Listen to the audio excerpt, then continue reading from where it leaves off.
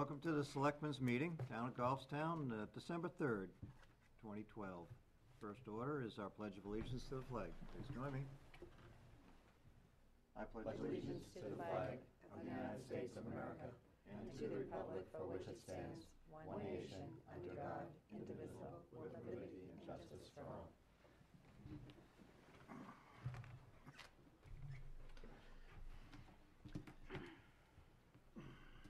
Board convened in, at 5:30 and immediately went into non-public session under RSA 91A 3, Roman 2, uh, considering parentheses A, compensation, and parentheses B, hiring.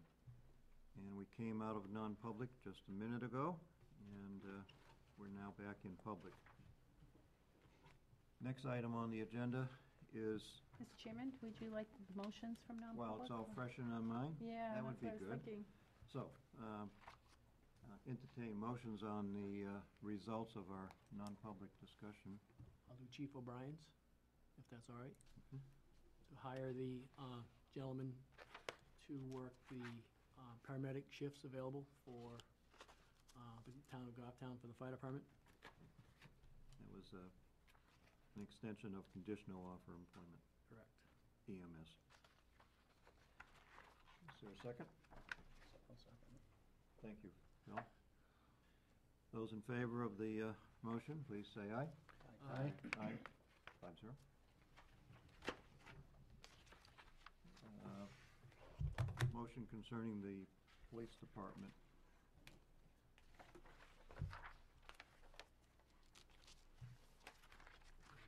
Make Carlos? You're doing well. Thank you. I'll make a motion, we accept the chief's recommendations. Okay. And that was, uh, if I may add, for uh, merit increases and stipends. Thank you. Second? I'll second it. Second. Carlos. Carla seconded. Uh, Those in favor of the motion for the police department, merit increases and stipends, please indicate, saying aye. Aye. Aye. Five zero. Thank you. And I got paperwork to sign. Thank you, Chief. Okay. uh, We have minutes from the 26th of November. First item in our read-ahead packet. Eight pages of public minutes. Move to accept, and I have one correction.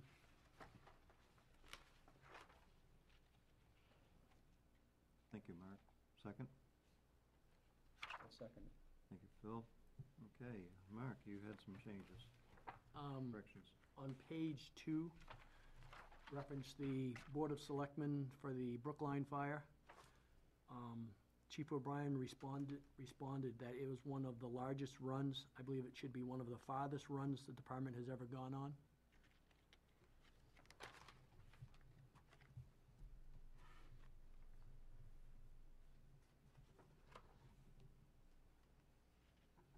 Thank you. You're welcome, that's all I had.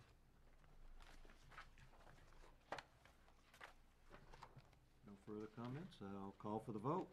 In favor? Aye. Five zero. Let us now consider the minutes for the 19th of November. Both the public session and one session of non-public.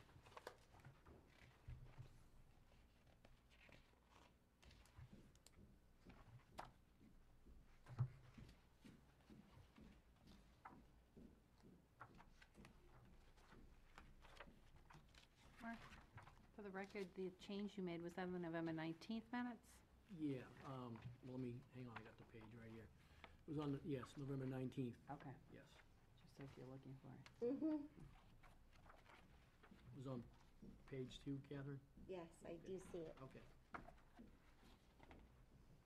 So for the minutes, we're now considering the comment was the correction of the word farthest, Mhm. page two.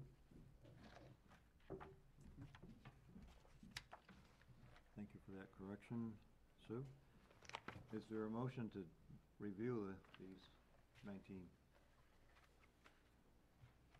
November minutes? Accept them. Motion to approve the minutes, November nineteenth. Thank you. Second. Okay, second. We had the one correction Mark introduced. Uh, Those in favor of the approval of the minutes indicate by saying aye. Aye. Thank you. Unanimous. And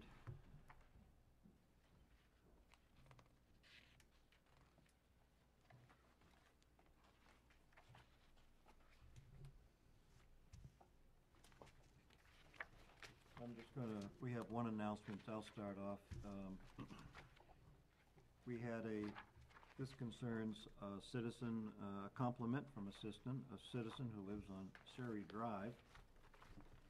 And he's uh, appreciative of the work that was done paving his road. And also favorably, uh, he, he was very favorable towards the smooth transition that uh, the town did between the road paving and uh, the connection to his driveway. In addition, putting the mailbox back in its uh, correct spot. He compliments the Department of Public Works for that paving. We had one that came in today, Yes, too. we did. So that's Scott, he does a fine job. Sure. This is for DPW. Our holiday is brighter and happier with wonderful job you boys did on Locust Hill. We thank you very much, and our car and truck also thank you. That was from Sylvia and Fred Jennings.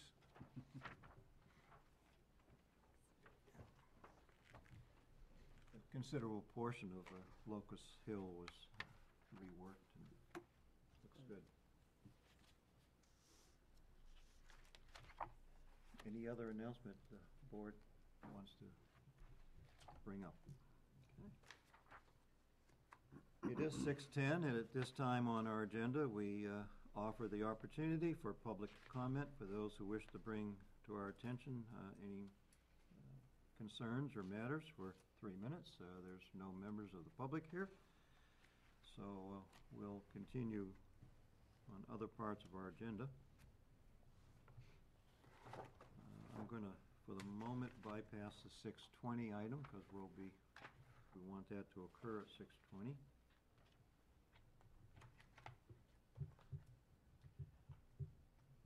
We'll by, of course, we'll bypass the public hearing at seven o'clock. Is Mr. Gammons going to be here for the village precinct discussion? Carl's gonna be here as Carl well. will be, too. Carl? So there, those are all scheduled. Well, we can, we can make up five minutes by the town administrator's report. Sue? Okay, thank you. Uh, Your weekly meeting schedule is in your packet. There are two budget committee meetings on, one on Tuesday, one on Thursday this week, Mhm. and Economic Development Council is scheduled on Wednesday. Hmm. In your consensus folder tonight, you have a manifest for an AP warrant of one million, five thousand, fifty-four dollars and fifty-two cents, and a payroll withholding manifest for two hundred ninety-seven thousand, nine hundred dollars and thirteen cents. Motion is needed to accept the consensus folder. So moved. Second. Okay, well, the, uh, Bill is temporarily uh, stepped out of the room, so for the four selectmen here, uh, please indicate if your approval of this motion, by indicating, saying aye. Aye. Aye. Thank you. You have an email from Alex Galupo requesting the town of Goffstown sign a resolution in support of using the Clean Air Act to curb climate change. I'd like uh, Phil back in the room before we consider that. Was Mr. Gallopo not gonna show up to speak to this, or? I don't think he's from around here. Well, that makes a difference. Yeah. Yeah. That was, that was my question, is that, is this person a resident of the Who is- town? who I is think this it, I don't believe so. I He's, think, he's talking about Salt Lake City Tribune, so I'm Bill, we assuming he, just approved the consensus folder uh, for the four, four zero vote. And uh, we're on to the next item where uh, it's in our correspondence folder, uh, an email from uh, Mr. Alex Gallipo requesting the town sign a resolution in support of a federal Clean Air Act. Thank you, but no thank you. Yeah, I'll make a motion. Please. Not, not to uh, sign the resolution as put forth by uh, Mr. Alex Gallipo, requesting Goffstown sign a resolution supporting the use of Clean Air Act to curb climate change. I'll second that if nobody else will. Okay, uh, we have the motion uh, to uh, not sign a request presented to us from a Mr. Alex Gallipo. And uh, those in favor? Oh, I just uh, wanted one, Discussion? I just wanted one statement on the record. I'm gonna vote for this motion, not because I believe or don't believe in what that, his letter or memo states, it's because I think it should come from a resident of our community and not just some blast email to every single town, um, you know, in the country. But, uh, if, you know, we have had residents come before us with regard to a whole host of issues, and I didn't, haven't seen this, somebody I don't even know, never heard of them, and then don't live here. So that's why I'm gonna vote no. If I may, I, I agree. I also, I would also add, it's fairly complex. Somebody ought to be here to speak to it and answer questions that we have, and there's nobody here to do that. No. So, uh, I don't think it should go forward at all. I'll call for the vote uh, on the motion. Indicate by saying aye, please. Aye. Aye. Uh, Against the motion? You or abstain? So it was five zero? The assessor has recommendations for you tonight, intent to cut on map two, lot thirty-nine, one, and forty-one, map nine, lot six dash two, and veterans tax credits, map one, lot twenty-seven dash two, and map twenty, lot ten, and finally, map twenty-three, lot eight. Motion needed. Motion to accept the assessor's recommendations. Thank you, Phil. Second, please. Yes, sir. Mark, thank you. Those in favor of the assessor's recommendations, say aye. aye. Aye. Five zero, Catherine. Yes. Motion passes. And the last item I had was that in your mail baskets, you had a memo from Don Borer regarding the uh, Finance Ad hoc Subcommittee and the process they went through um, in terms of the RFPs and the demos. And they are,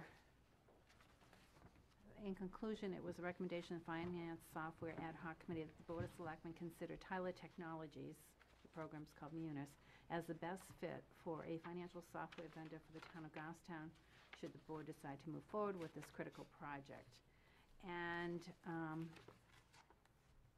staff would like, if, if the board's moving in that direction, the opportunity uh, or direction from the board to negotiate with them uh, because their proposal had modules in addition in excess of what was requested in the RFP. Um, And also hours of training. um, Yes, it's gonna be a exceed. complex discussion, so we don't have time right now, but Phil? Well, I guess that's my point. It's, I was a little surprised. It says it's a, a memo. This is a little bit more than a memo. A memo is usually not four pages with an attachment. Uh, to me, it's more like a final report because there is a recommendation and a conclusion on it and it's, uh, quite extensive. Uh, and I just wanted to, to- to me, it's, it's a report and I think that it should be noted in the minutes that this is more than just a one paragraph or two paragraph memo, this is quite extensive. And I thought it was well done, and, and I, there- there's, there's, it's basically a rundown on, on all the times they met and everything on there, and I just wanted to say they did a lot of work. They There's did. a tremendous amount of work in here, and a lot of thought that went into it, so, I mean, uh, to me, it's a As- report. Yes, and thank you, Phil. As this board's uh, representative to that ad hoc committee, I, I'd encourage the, uh, the chair of that board to uh, fully document uh, the history of the board's deliberations, and uh, so that it's all captured in one document. So would you like to take this up under new business and the selectmen's discussion? We will. Okay. Do we know if our attendees for six twenty are here in the I hallway? will check.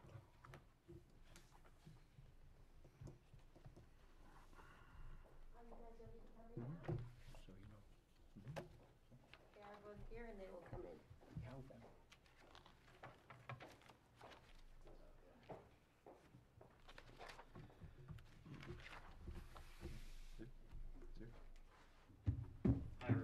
Hello. Evening. Uh, Mike you were here last week, and who did you bring with us tonight? This is Conrad Cascade, he's my attorney. I'm sorry, Conrad? Hi, I'm Conrad Cascadin from Shaheen and Gordon. Would my card help? Yeah. It would name. help the minute taker immensely. If you want to get credit, yes. Here you go.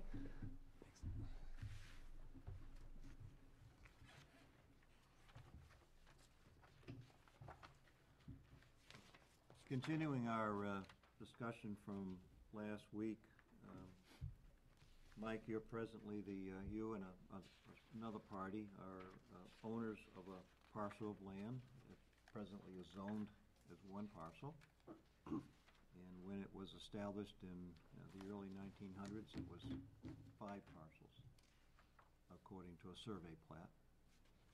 And uh, by a uh, recently passed uh, RSA last year, you're like to exercise uh, a right by that RSA to have the lot demerged from, in, in its zoning status to uh, five lots or some consolidation thereof, according to your request. And that's the issue before the board this evening. The selectmen uh, have the, the first option to rule on this. So, uh, do you have any further information for our consideration? Yeah, if I could, do you have anything? No, please. Um, just before I begin, can I hand something out to the board? You may. Okay. Uh, what these are is, uh, just copies of, Thank you. printed from the, uh, general courts, uh, just the statutes on the variance, uh, not variance, excuse me, the, uh, the uh, voluntary merger and involuntary merger statutes. I have enough for everybody, so. I believe we have that Yep, we have first that as one. well. It'll, it'll help me if everybody could just walk through it with me, and that's why I printed it out for you. Uh, I'm not saying that you don't have, have copies of it and have access to it, everyone does. And I'd just like to start, just prefacing this, this conversation. There's a little confusion with the language, so the, the, there's five lots here. Uh, the zoning code hasn't merged them into one, it's not one parcel. What we're dealing with is five individual lots that the tax office has consolidated into one for taxing purposes. All five lots still exist. When Mike has purchased the parcel, it is all f- five individual lots. I've seen the deeds. Right, and you've seen the deeds, and from the, the satellite picture, it's a little inaccurate, but from what that, ap- and everyone's seen it, and we've, you've discussed it next week, last week, so I'm not gonna go back over it again too in detail, but from what it looks like, there's a house that b- is built on two of the lots, and then it has a front yard in front of it as a third lot, and then two lots are to the other, either side. Um, and what everyone can agree is that there's five building lots here. Um, whether it was intelligent or not, to create five lots there is not really a question before the board.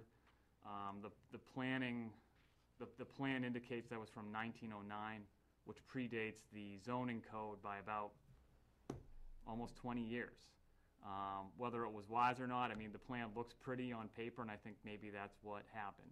Uh, obviously now we have certain zoning codes and issues that we need to deal with that as, as the, uh, town of Goffstown has grown, as well as other towns in New Hampshire have grown. Uh, more education has come, to come to light on how we should, uh, structure subdivisions. Um, however, with this subdivision, what we're dealing with is something that's a little messy. Uh, there's five lots and a corner lot. Um, Mr. Gallo has, uh, proposed a very good way to deal with these lots in taking three of the lots, merging it with the current house, it's creating a lot there, and then also taking, I believe, lots, the other two lots, Twenty-eight and twenty-nine. 28 and 29 and creating a second lot out of it. Um, What this does is it doesn't take five lots and make five building lots. Um, It creates two workable lots. Uh, If you look at the plan and you look at the satellite image, um, both lots fall in accordance with the size of the lots that are already existing in the subdivision. So what he's doing is nothing that's going to be out of place for the neighborhood. Uh, the neighborhood itself is going to be maintained and the character of the neighborhood is going to be maintained. So I think that's what I wanted to start with, to assuage everyone's general fears that, you know, he's going to cram a giant house into a small lot and it's going to look absurd. I don't think that's the case. It's not going to happen that way. Um, what he's looking to do is take something that he's purchased, five building lots, and create two reasonable lot sizes for the neighborhood. Um, and that's his goal. So I just want to go in, and I've been brought in because of the, the merger statute, and to express uh, Mr. Gallo and my views of what the merger statute states. And it is a new law, um, and it, crea- it creates a five-year look-back period. So as we're sitting here looking at this law, um, this conversation won't be happening in 2016. So as 2013 approaches, there's only four more years where this conversation will even be able to be had with The you. all. ability to do this sun, sunsets. Right, the ability to do it sunsets. So I think the discussion before was, was on whether or not these lots have somehow voluntarily merged. Um, the statute's very clear, and I, statute, it's RSA six seven four colon three nine dash single little a. Uh, and single little a states, any owner of two or more contiguous, pre-existing, approved, or subdivided lots or parcels, uh, who wishes to merge them with municipal regulation and tax may do so by applying to the planning board or its designee. Um, This is the only way under the statute that provides for voluntary merger. Um, Mike has talked with um, Brian at the planning board, uh, his last name's escaping me, but from his research and his looking at the deeds, there's been no voluntary merger of these lots in any way, shape, or form as required by the statute. And the statute's quite clear that it needs to be done at the planning board, and the planning board has no record. Um, thus, what we're left with is the involuntary merger statute. Um, and the involuntary merger statute also is, is quite clear. Um, as it states, it has a sunset, so there's a limited amount of time in which people can, can do this, and what I'm sure will happen is that when the sunset occurs, you're gonna see people in here saying, hey, wait a minute, I didn't know about this statute, come help me, but there's a hard sunset. Um, likewise, there's also very little discretion for the Board of Selectmen. Um, the moment that these lots are involuntarily merged, the language is quite clear that lots or parcels that were involuntarily, no, excuse me, I'm reading from section two, where lots or parcels that were involuntarily merged prior to September eighteenth, two thousand and ten, by a city, town, county, village, district, or other municipality, shall at the re- re- request of the owner, so it's shall, at the request of the owner, be restored to their pre-merger status and all zoning and tax maps shall be updated to identify the pre-merger boundaries of said lots or parcels as recorded at the appropriate registry of deeds. Um, and so that's what we have here. Uh, Mr. Gallo's, he's, he's asked the, the selectmen to unmerge these lots as they've been involuntary merged into their five separate lots. Now, obviously, um, it's kind of an unworkable situation. So his plan, as I stated before, is to merge three of the lots into one building lot and then merge two on the side. Um, and I, I guess that's, that's the law as I see it. I, I don't think there's very much discretion this board has at this point. I think what it does is it falls to the zoning board to approve whatever next step happens after the merger occurs, or the, the uh, involuntary merger is lifted, I should say. I have a question. Yes, okay, we'll start our side of the discussion here. Thank you, Conrad. Phil? Um, could you address C, See of what? what you just handed out? The This- little C. Thirty-nine AA, one C, just, you know, an inch and a half down on the Yeah, paper. 'cause, uh, the, the one part, that- that's, that's where I was going. It says, Scott? Yeah, I'd like him to okay. address. Can you, could you address that, please? Well, I think the issue that the board was considering before is the overlay of I, No, could I- you you did- address and what you handed out, could you explain that in the detail voluntary that you- merger As, and, in the detail that you explained the rest of it to us, please? Well, voluntary merger and voluntary merge, I'm just reading from the statute, or any overt action or conduct that indicates an owner regarded said lots as such merged, as merged as such, but not limited to abandoning a lot line. I, I don't see anywhere in here that lot lines were necessarily abandoned. Where you get it is po- is probably the main structure. Now, we have, we, the big problem with these lots, and I've talked to Mr. Gallo before we came in, there's no surveys of this. So we have, when I'm look, when we look at it, there's a messy lot. There's a road that, I don't know, what was that road called? Let me look at this. Ruby? Ruby Street. And Ruby Street doesn't exist. Um, Ruby Street looks like a dirt path that looks like trucks and probably a dirt path is parked on. I've never been, we haven't been able to determine where that boundary line is. And so when we're looking at these, pla- we, where the house is built, I couldn't tell you for sure where the house is actually built, how it actually lays on this land. I think the great discussion here was attributing a lot of emphasis on where uh, is either a shed or a tree house or something of the like was, was built. Um, I, I don't see that, and I, I don't, from our research, the shed has never been approved. It's never had an approval from the Board of Selectmen or the Planning Board or the Zoning Board to build the shed. Um, and that's just from our research. So looking at whether or not these lots have been, um, voluntarily merged by the use, from the, from building A, number one, the house, is the only way, thing that I see would be an involuntary, would be a voluntary merger of these lot lines. Um, regarding the shed that was never zoned and we don't have a survey from it, I, I have a difficult time finding that this was a intent voluntary merger and abandonment of these lot lines.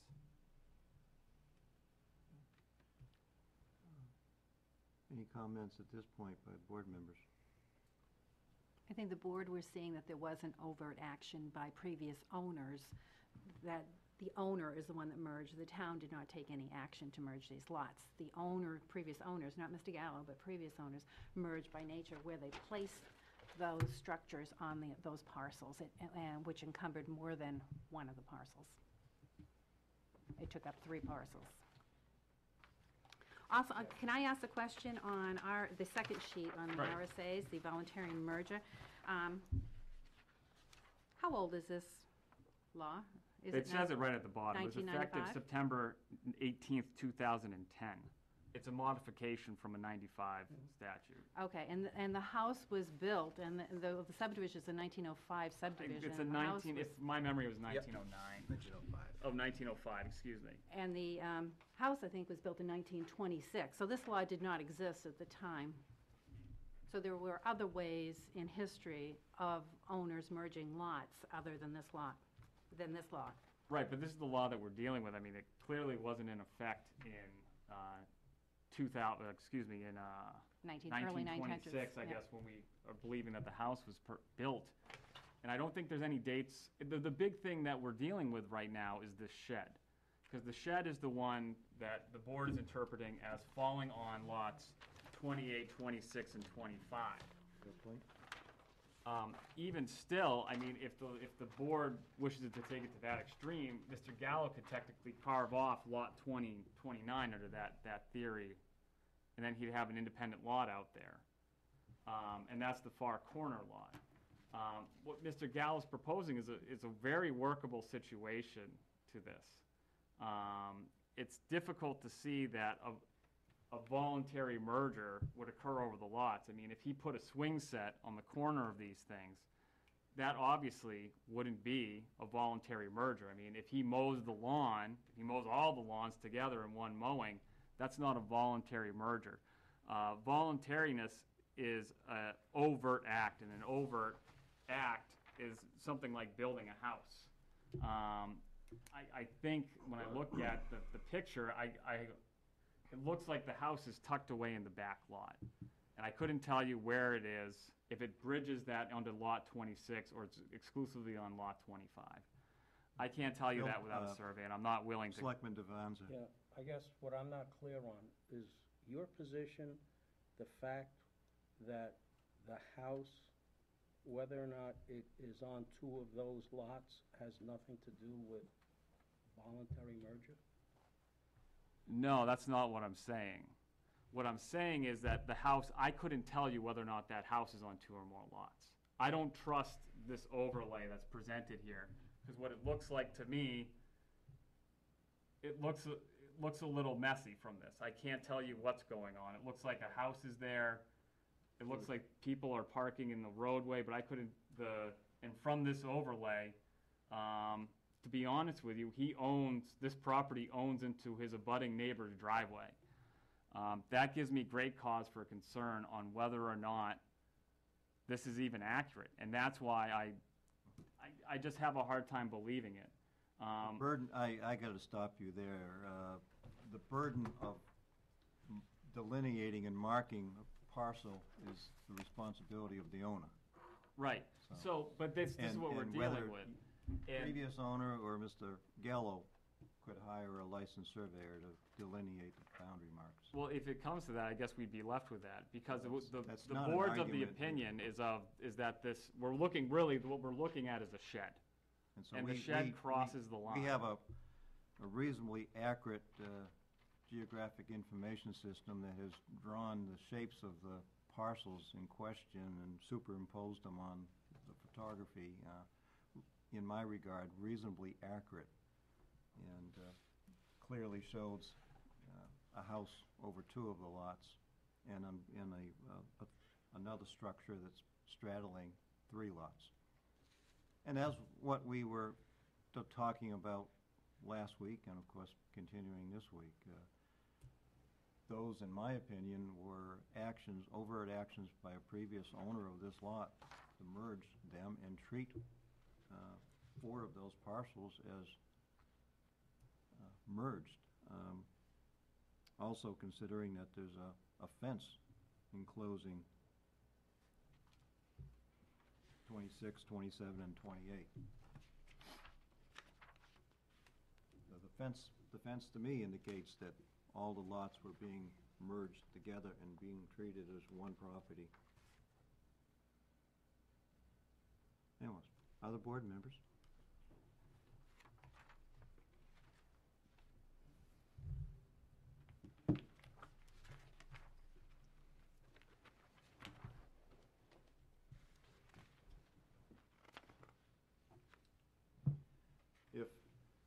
If, if this board were to look favorable upon Mr. Gallo's request, we would be separating the parcels back to uh, five lots. Tomorrow morning, the assessor would have to do uh, new assessing of each of those five lots, somehow determining what proportion of all those structures belong to which, which parcel. And that would, Wouldn't it be cleaner to use the land use laws to subdivide this off into two lots? that's what many other property owners do. I'm not sure it's gonna meet the current subdivision regulations. Are you saying that if they were, if they were in fact involuntarily merged and the board unmerged them, that you think you're gonna get a building permit for these two lots? I would have Without meeting current zoning regulations? the regulations for a newly subdivided lot versus a n- pre-existing non-conforming lot are different. Okay.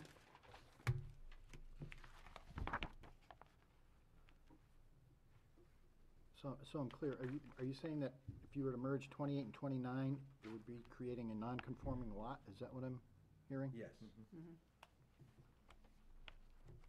Now, what you have to understand when you, by, with twenty-eight and twenty-nine, the only reason why it's non-conforming is that there's a, um, there would be a setback issue on one corner of a structure that was built there, a typical square structure. Um, the uh, square footage, if you look, if I'm looking at this, the property immediately behind lots 24, 26, and twenty-seven, I believe it has more square footage than that lot. Um, it's only because it has the triangle shape to it that lends to a nonconformity of an, of an anticipated square, single-family home. Can I just Yeah. follow up on that? I guess I don't understand how you can make an assumption as to the amount of square footage when you stated before that you don't trust any of the lines.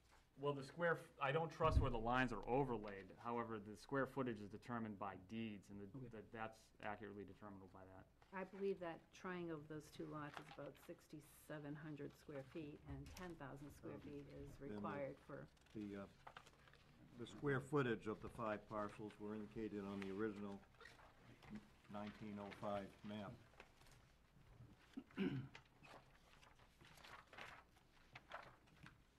They were fifty by one hundred. Or if they were less than fifty by one hundred exactly, Here, the, uh, the s- 2611. the square footage was indicated to the nearest foot. I just sixty-seven hundred square feet, these two. And this would be just over ten thousand, so that one would be fine.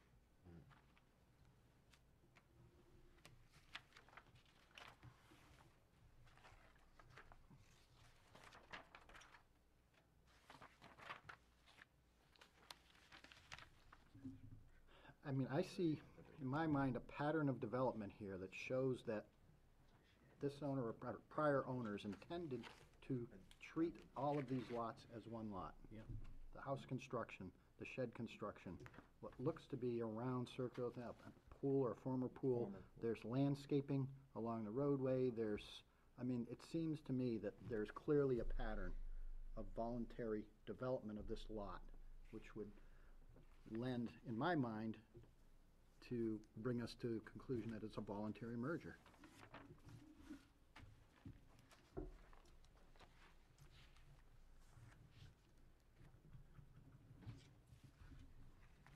I, I concur with that. From the previous owners, yeah. Any, uh, I'll supporting or differing views? support Collis and Scott. That's exactly the way I feel.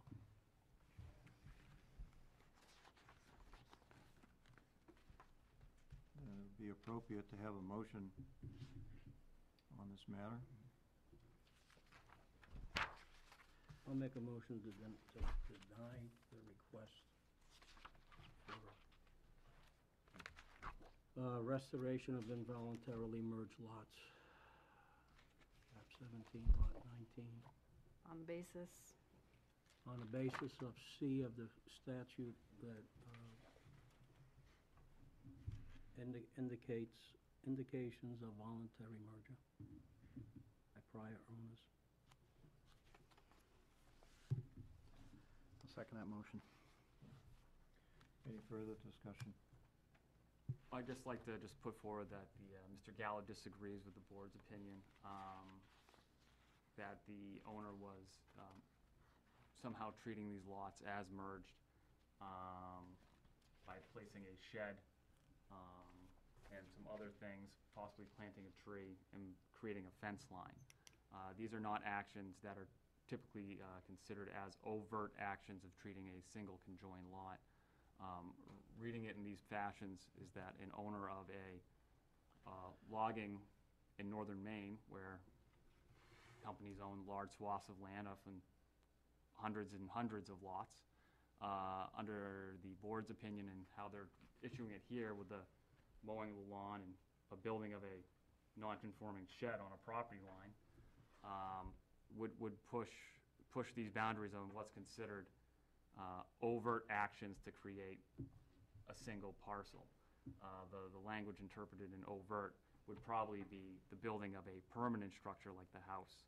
Um, I think by the, the board stating that a building of a shed oversteps that bounds.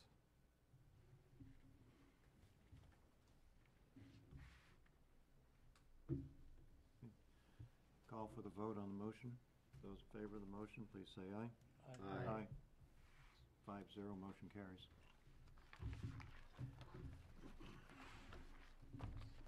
Thank you.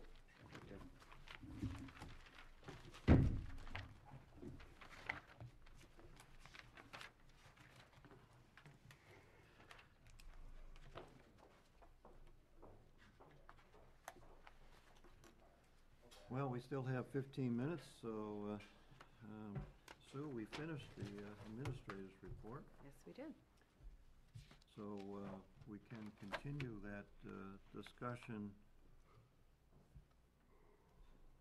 on the uh, finance software package.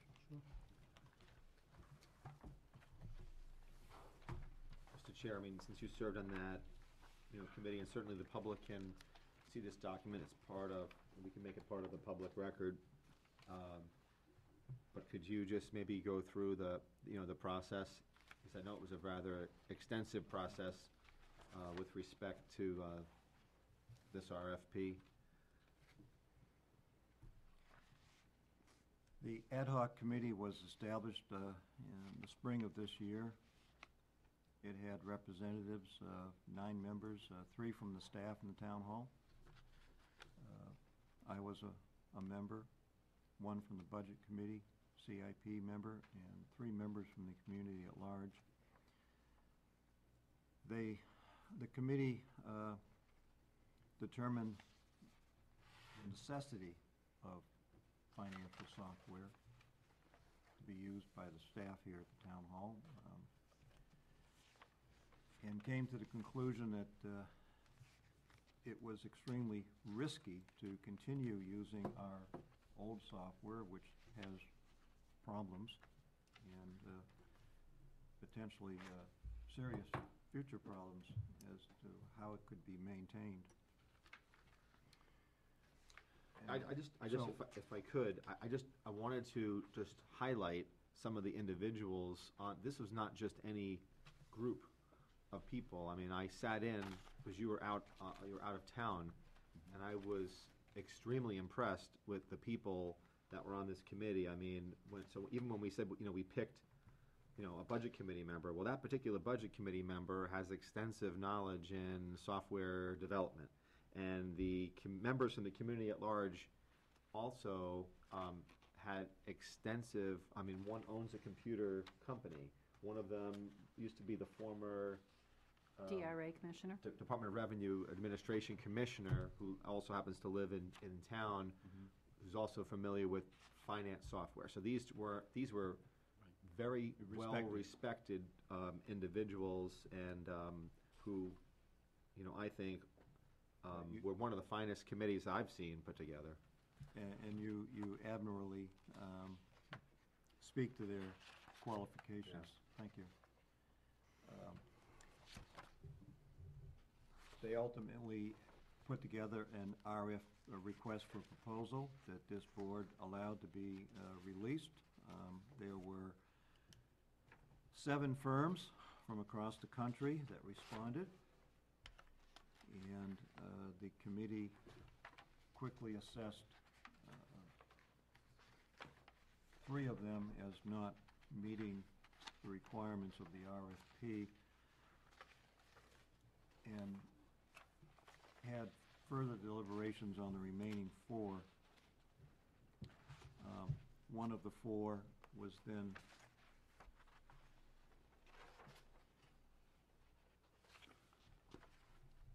left out of the continuing run of uh, analysis.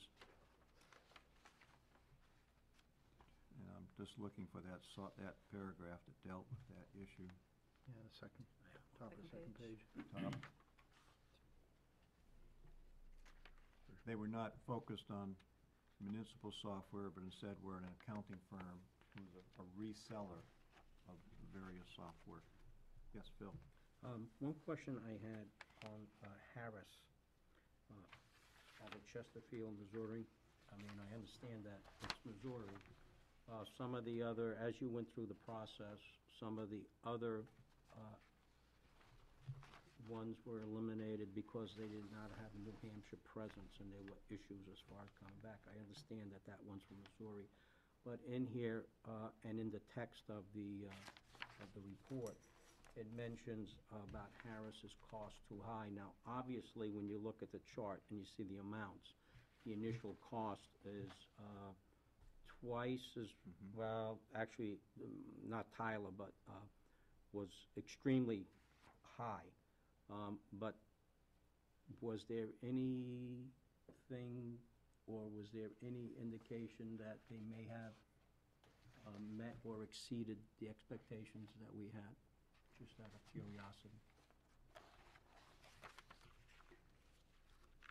That's the one that City of Manchester entered into an agreement with, right? Yes, Enterprise? yes. There were contributing factors other than the cost that Okay. led to them being eliminated. Yeah, I mean, o- obviously the cost is, is high. I mean, I'm not, it's just out of curiosity, sometimes people think that if you pay more money and you get the top of the line, did we necessarily, was it necessarily that much greater than And so, anything else? and the end result that I'll come to shortly is Okay. that uh, when we narrowed it down to three firms, and those three firms came in for demonstrations of their software, which uh, took two to three hours of Right. demonstrating all the various uh, displays. each. Display screen, yes, Mhm, for each yeah. vendor, uh, demonstrating the uh, display screens and how um, information is uh, fed into all the activities that you would do for financial accounting and ledger sheets, tax preparation, and, uh, that we came down to three, and uh, the one that was ultimately picked, uh, Tyler Technology, uh, was still, um, it was expensive, Mhm. and perhaps more expensive than we have uh, indicated by our, our budget deliberations to date. However, uh, there were factors in their proposal that we clearly will want to negotiate out of their proposal. And uh, we felt, or the committee felt very comfortable that that would bring the price down to Okay. uh, a reasonable level that we have already funded in our, our proposed budget. Yes, they had uh, hardware in there, and the others didn't have hardware. They had some um, extra modules that Uh, we didn't The request. GIS module that Right, integration would not be appropriate. We were capable already in that line. So essentially, uh, the committee was unanimous in their recommendation that they're presenting to this board, and, uh, which included my vote. And, uh, and I was, uh, like Selectman Gross indicated, I was very impressed with the thoroughness of this committee and the types of reviews and questions and the examination of all the firms. That uh, they are presenting uh, a well-thought-out request with uh, a high, high degree of success for this, uh, this town to go forward with. It's a, um, it is a risky proposition to switch all of our accounting from one set of software that we know has problems and um, get all the data switched over to a new system. And uh, those were concerns that were discussed with all the vendors, how that would occur and the process for managing it. Phil? Uh, well, going through the, um, the report and also with what you stated and, was mentioned by others, um, I feel very comfortable, um, with it.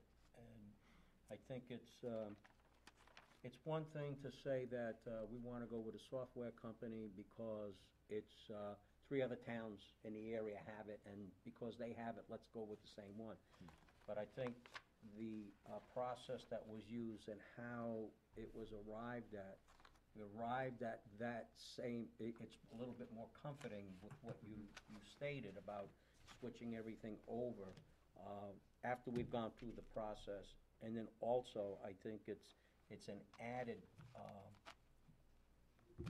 benefit as far as, as level of comfort to be able to say, well, gee, a couple of the other towns or several of the other communities that, uh, or, or join us, uh, and in our area have the same, the same company. So we got to that conclusion, but we got through it, through all this hard work of the, of, of the committee.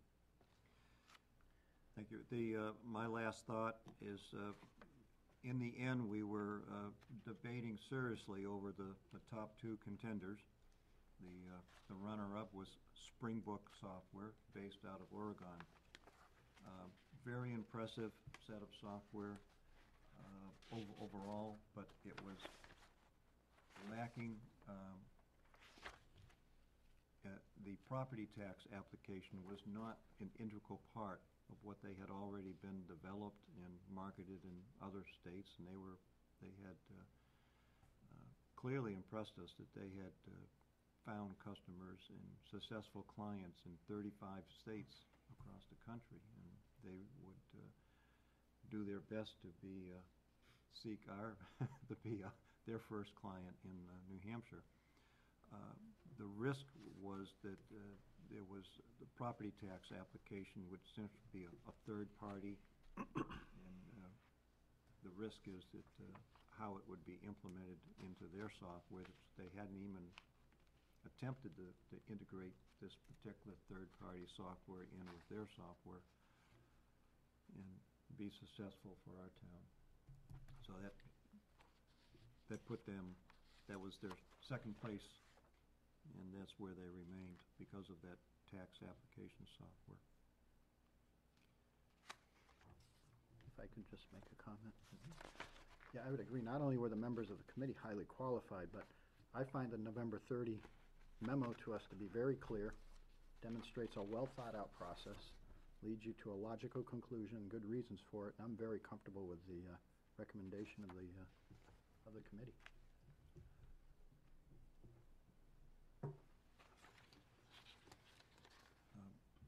I'm going to read their recommend conclusion in a moment, but uh, No, I just wanted to, uh, you know, again, just share the same sentiments as the other selectmen who've spoken already, already with the recommendation, but also wanted to just highlight once more the critical nature of replacing this software. Um, it is at a point where it's extremely fragile. Um, it is the lifeblood of our operations, not just at town hall, but since we deal with all these different departments, and I add the school as well, because they request checks, and so it, it, it really does touch everybody. Um, it's, it's, we've had too many problems with it. The, um, the vendor support, the vendor that we have right now, the support is erratic at, at best. There's only certain times that we can speak to them when we have glitches. There's a lot of, um, how shall we say, um, extra work that we have to generate in order to just fix problems that we've already have, glitches that are, that are existing, and clearly this is an, what we're dealing with now is an antiquated system that must um, be remedied next year. I mean, it's not, this is a mission critical type item for us. I just wanted to just highlight that. I sat in all three demos, and uh, this software is extremely impressive. I mean, it will change the way we do business in the future.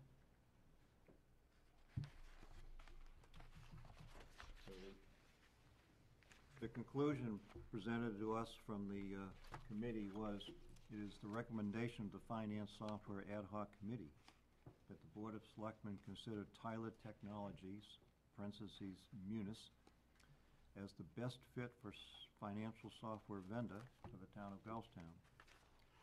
And the board should move forward um, with uh, this critical project and uh, do final negotiations with the firm. So if there was a motion on that regard, Well, I, I just wanted a, a, a question, uh, before that. Um, the next step, then there would, we have to have some negotiations with this company about these other modules and these other items that are in there. And how do we see that process? Is that something that this, we're- that we're gonna have the committee do, or is that something that's gonna be done, uh, by the, through the Board of Selectmen? Through the administration, through Mhm. finance? The chairman of the committee, the finance director, finance. And um, the assistant town administrator, those two have been working on this project together through the whole thing. Okay, but I guess, uh, it would seem to me that we just wanna spell that out before we make any motions as to what we're gonna do, so that it's clear, uh, exactly what this process That process. was the motion. I- I was gonna make a motion with respect to that, as opposed to just accepting the company. Okay, well, I, I simply stated a conclusion if you wish to Yeah, uh, let's present uh, a make a motion. motion that we accept the Finance Software Ad hoc Committee's recommendation uh, to consider Tyler Technologies Munis and allow both the finance director and the assistant town administrator uh, to negotiate uh, the best possible terms with respect to a final uh, price to be accept, to be later accepted by the Board of Selectmen. I'll, I'll second that, but I have a, q- a question on this, okay? And, Discussion, go ahead, Phil. yeah, um, we have a committee that we've gotten a recommendation from, okay? We've gotten this memo, which is really a report. Um, and if we go through and we take their recommendation and we go through with this, let's say this motion goes forward, where does that leave the committee? Does the committee still exi, are we gonna have the committee do No. anything else to Their help? work's done. The- the- Or are they Yeah. done? I think they've met their mission. Yeah. You, we were That's- very clear on the mission of this committee. Yes, that was the, the next point I would be addressing once the motion was made, but we'll discuss it. uh, Okay, I just would- so that, I would the- need to the know that, committee- have to committee has- determine how I'm gonna vote. The, the committee has fulfilled the Okay. goal that, that this board laid out for them, and, um, and s- as several of us have expressed in such an admirable way, I certainly would like to see letters of appreciation to the, uh, Okay. uh, non-staff members who participated in this. Ready to vote on the first one. Okay, we had a motion presented by Scott and seconded by Phil, uh, concerning Tyler Technologies. Those in favor of the motion, please say aye. Aye. Five zero.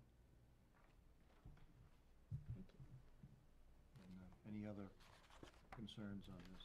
No, I think we, I think we should make a motion to, um, I'll make the motion that we, um, thank the members of the ad hoc committee for their work, uh, through a letter from the Board of Selectmen, and also to, you know, when you start a committee, you need to, I guess, finalize the committee, so, and, and so we would conclude the committee's work and, and thank them for their, for their recommendation and all their service.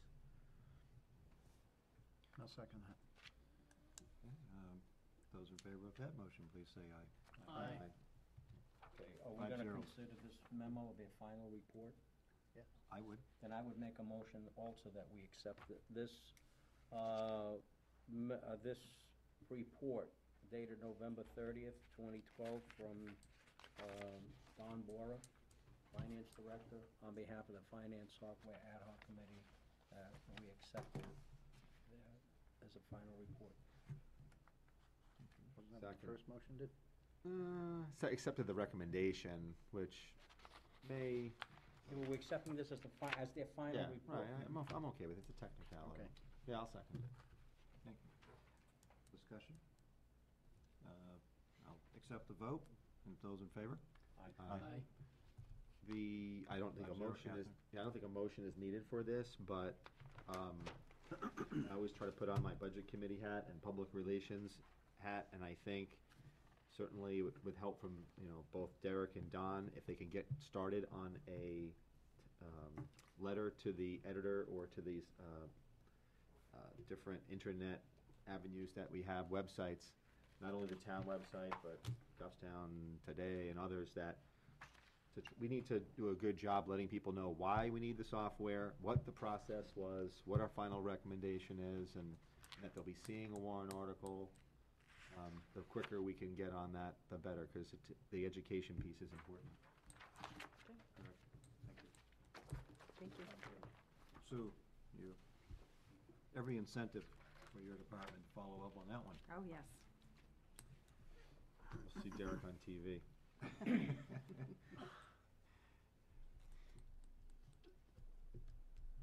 you. Public hearing. Back to the public hearing. We're gonna go to the public hearing. Anything else, Reggie? Oh, I don't think it- Item six in our packet.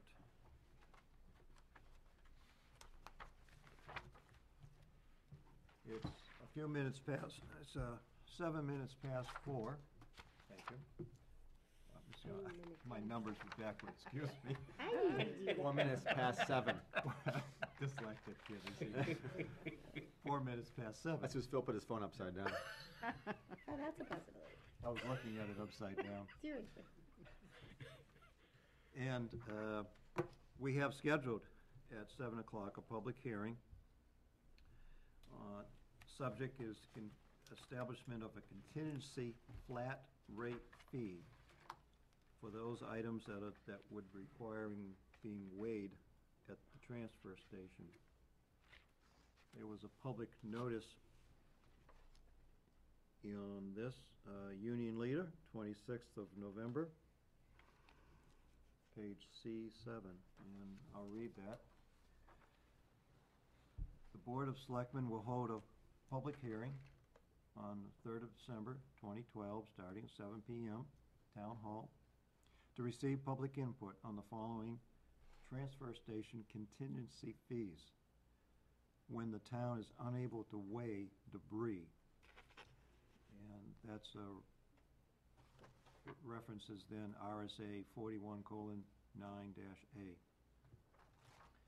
Specifically, if, um, the vehicle that we're unable to weigh is a half-ton pickup, then the resident would pay twenty dollars for the material, uh, that, in the, uh, half-ton pickup, or a commercial vendor, forty dollars. If the vehicle is a three-quarter ton or one-ton pickup, the residential rate is thirty dollars, the commercial rate is sixty. If the vehicle entering the, the transfer station with debris is, uh, a one and a quarter ton pickup, the commercial rate is fifty dollars. Residential If- Yeah, the residential rate is fifty dollars, and the commercial rate is hundred dollars. If the debris is in a single axle trailer, the residential rate is twenty-five dollars, and then double that, fifty dollars for commercial.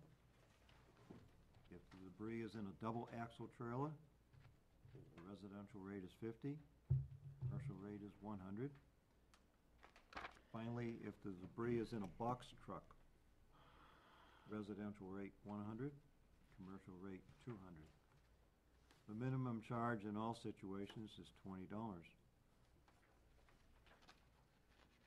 Um, Any discussion before I open it up for public? Uh, By the clock in this room, it's seven minutes past seven. Thank you, Phil. Uh, We're open for public. Uh, There is no member of the public here. We do have the Director of Public Works. Uh, Any, anything else for us to to consider, Carl?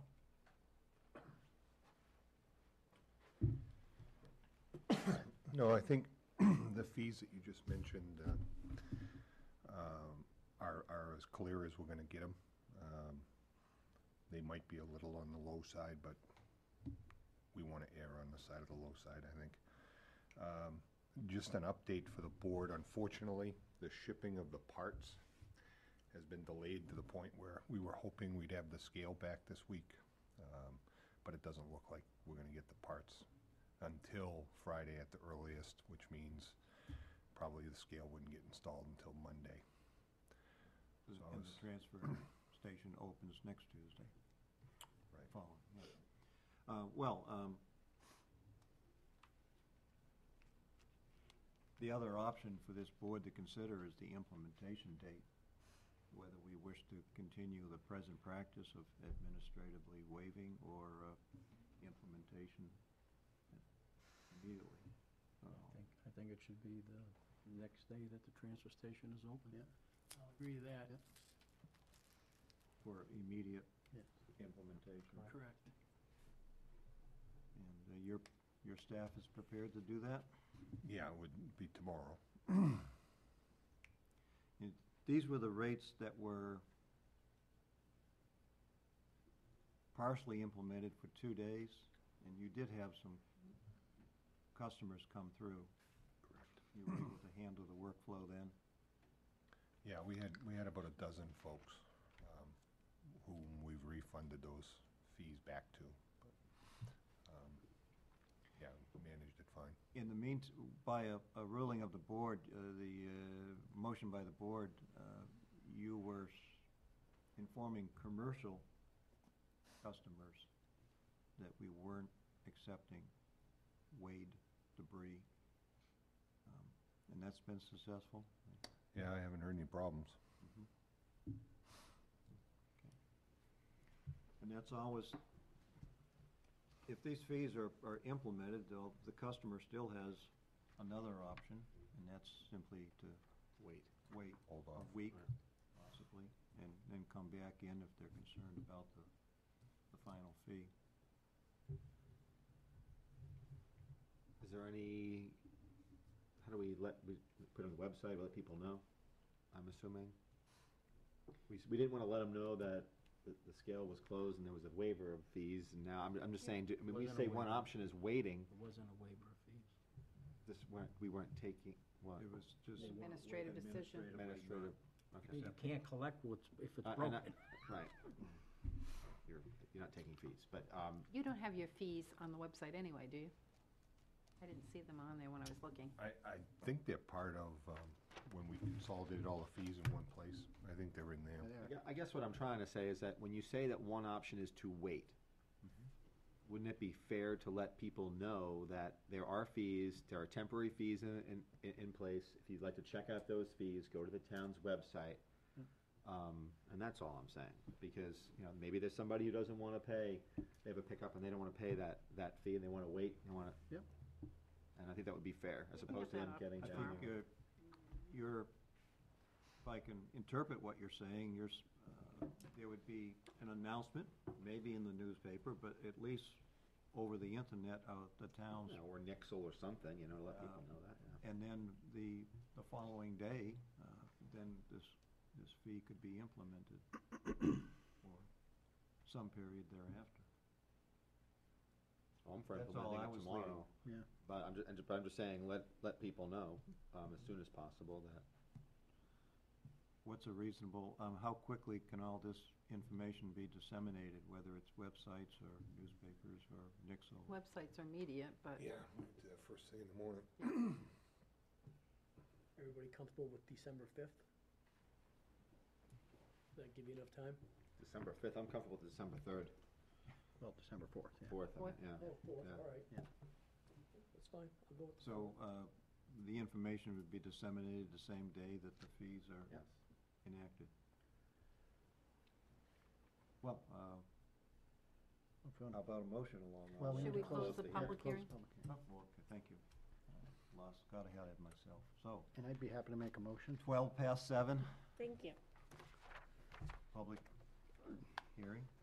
I'd be happy to make the motion, Mr. closed. Chairman, And now, a motion on that. that we implement the transfer station contingency fees as set forth in the public hearing notice that appeared in the paper and was discussed earlier, effective December fourth, two thousand and twelve. Second. Can we amend that and to cease when the DPW director has the scale, we don't have to do that? These are, uh, these are contingencies that will remain in place and forever, and on the occasion, is a, a one-day outage for some reason. That's, that's, Or half day, if something breaks on a scale and you can't wait, they go to this. Okay, that's articulated in the public hearing notice. gotcha, okay. Sorry about that. No further discussion. Uh, those in favor of the motion, please say aye. Aye. Aye. Carl, thank you for, Thank you all. you've done along that line, and keep the pressure on those repair parts. Is Al Apparently supposed, it's in Yellow Freight's hands. Or Oh. trucks. So it's stuck somewhere between here and there, huh? Yeah. As far as I know, he was coming. okay, that's what I thought. But if, I stopped by today, uh, there's uh, tubing put in that has wires leading from where sensors are gonna be placed, and that, I assume those wires go back into your attendance station. Yeah, there's a a new module on the outside of this scale house that, that, um, will read the hydraulics, and then it, then it feeds from there inside. They've done as much as they can without the load cells. Is there going to be any uh, conditioning of the, the deck itself now that it's fully exposed? No. No, no, um, I mean, sandblasting or painting or? Yeah, there was really no time to arrange that. Um, The, the nice thing about the, the deck is, um, when it comes time for replacement, um, which, you know, as you know, we didn't plan on replacing that just yet. They'll be able to completely manufacture the new deck on the side or off-site. And then it's just a case of a crane coming down literally a couple hours to lift the old deck out and new deck in, so. Scott? Yeah, I asked the same questions. I met with Carl last week, and uh, I asked him the same question about, is there a possibility of us sandblasting or, or painting the steel? And the reason why I asked it was, if that buys you three, four, five more years because you've painted it, I would think that that would, and now that we have a part, a delay in our parts, so And- now we know we have a week. And we put the fees in place effective, Right. why not take the time now to do it, right? Well, yeah, I mean, if we can, I mean, I, I, Is weather a constraint here? I- I don't, They do it tomorrow. You know where we're heading on this one, Carl. Yeah, Uh, we uh, don't what do you- you sandblaster. wanna, I have see if do we you can wanna one. discuss any budgetary impact? Uh, Well, I'm sure the budget impact is small, it's the personnel to do it. Um, We have a lot of projects that we're trying to wind down, we've had a lot of snowstorms. Um, You know, we're getting ready to start Pleasant Street, so it's all a case of who do you pull off, and can we get a sandblaster, can we get somebody to paint it, because we can't paint it unless we go out there with brushes. So it's, it's not as simple as go down to the hardware store and get a couple cans of paint. Use that, use that new paint, and that new primer, chemically addresses the rust. I, I make a motion that we sandblast and paint it. I, I really do. I, I think it, it- it's, I saw the condition of it. Um, I, I cannot see how it will hurt our, our process. I fin- in fact, I think it will lengthen the, the time that we won't have to, re- you know, so we don't have to replace this thing. So I, I think it's well worth the, the time and energy, um, to do it. And I will second his motion, because I saw it as well. We're only, Uh, I, I have a question. Yeah. Phil? I have a question. Uh, I appreciate the motion and the second. The only concern I have is if Public Works can't feasibly get this done and the parts are here for the scale, and the department has to make a decision as to whether or not to get the scale or to uh, still try to do this deck, do we hold off putting the scale back together and do the deck? I just don't want to put the Public Works Department in a, between a Fees. rock and a hard place. the fees are in place. Okay. That's just my take, too. Um, I think we need to look to the B- DPW director, his experience, his knowledge on these things, and take his recommendation. If he thinks it's not feasible and it's not worthwhile, then I'm willing to go with that, uh, as opposed to some other recommendation. So I, I won't support the motion.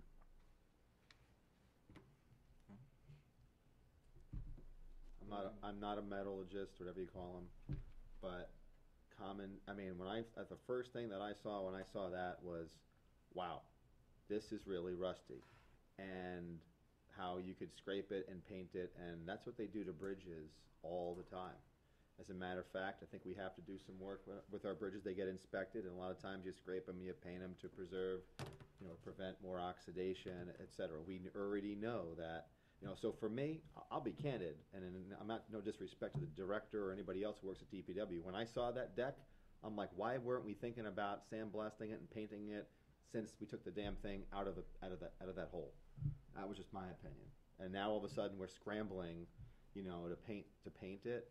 Again, I, I don't have any engineering credentials to deal with steel, but it just looked that nasty to me. Phil, then Carl. Yeah, uh, you know, I, I guess, you know, I, I, I understand the situation. I understand we have a problem with the deck, okay? Concern I have is that we're in the beginning of December. Public Works has a list of stuff that it's done. Public Works always gets beat up as, how come they didn't get this done? How come they didn't get that stuff? And more stuff gets put on the plate. And that's the concern that I have, is that we keep putting more on the plate, We want more done, and then stuff doesn't get done, and it's, how come it didn't get done? That's all. Mr. Chair? Yes. Carl, how much does it, to- how much does it cost to take that deck on and off with the crane? I haven't gotten the bill yet, but you're probably talking a thousand dollars to have the crane there for the day.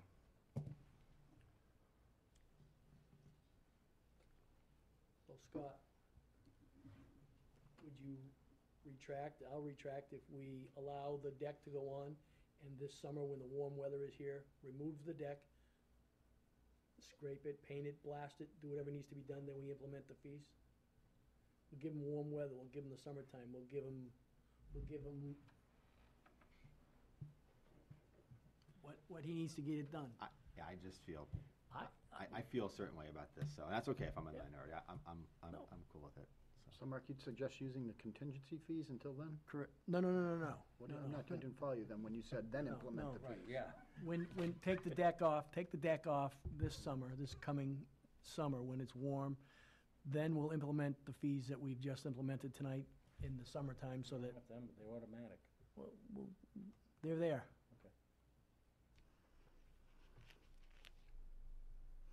you know, and I, I, I'll just say this, is that, you know, we were told that on average, we lose six hundred dollars a day when we didn't have fees, and we went through this whole thing with Thanksgiving, and, you know, we took a vote, but then we had to have an emergency meeting, and, and if we had posted this thing, we would have been able to probably save at least two or three thousand dollars. We could have paid overtime to have, for less money, to, to do this job, so I just, you know, and, and, and if it takes overtime to paint this thing, I mean, it, we went out with, we went out with, with folks sanding the roads because we had ice, you know, it was icy conditions. If it costs a couple thousand dollars even in overtime to do this, then you know, it's cheaper than bringing a crane in later. So, and I'm sure that, you know, that's a possibility. So, Catherine? You only get one We have a oppor- motion, right? You Yes. do? And we have a second? Yes. Time to call for a vote. I thought you said you were gonna let Carl talk. You did say that, Mr. Chairman, point of order. Mr. Chairman, I would like to say that it is not like the Department of Public Works didn't look into finishing the deck. Those are very large I-beams. The rust is surficial rust. Yeah, it looks bad. You look under any bridge in the state of New Hampshire, they look exactly the same. You look under two-thirds of the bridges in Goffstown, they look exactly the same. They are not box beams holding moisture. They're I-beams. They're very rugged. That deck is not going to fail next summer or the summer after. It's not the same as the members that failed. Yes, we determined it wasn't worth the effort now at this time of year in this weather to do it. It's not impossible. We could still do it. But our experience tells us that that is not an imminent problem. It's going to be back under there. Uh, The stainless steel load cells are down where the moisture is. That deck is not as imminent as a problem as the, the uh, arms of the scale were. So I just wanted the record clear that we did look into that. We're not idiots.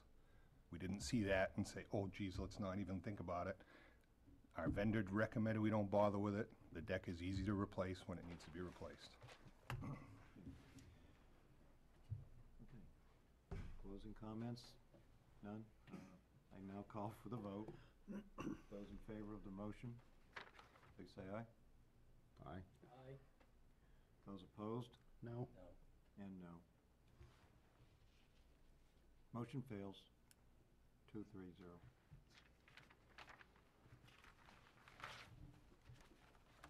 Is Al coming? Gammon? We thought he He- was coming. But And I I, told him I spoke with 7:50. him this weekend, and he indicated he was gonna be here, and, uh, Maybe we just keep going then, maybe. we'll keep going.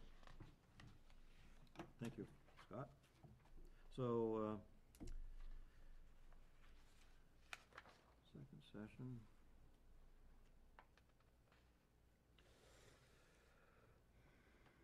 Continuing on Selectmen's old business.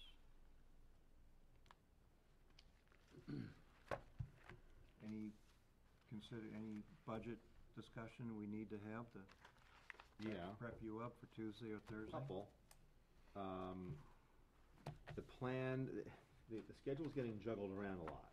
So, the last that I had heard that they're gonna go back to the town tomorrow, tomorrow, because Stacy Buckley had some meeting that she had to attend tomorrow, so she's gonna go, so they're going back and forth. Um, So that's DPW and fire? yeah. Would Uh, that be the time to do the collective bargaining agreement, or are they gonna do special articles on another night?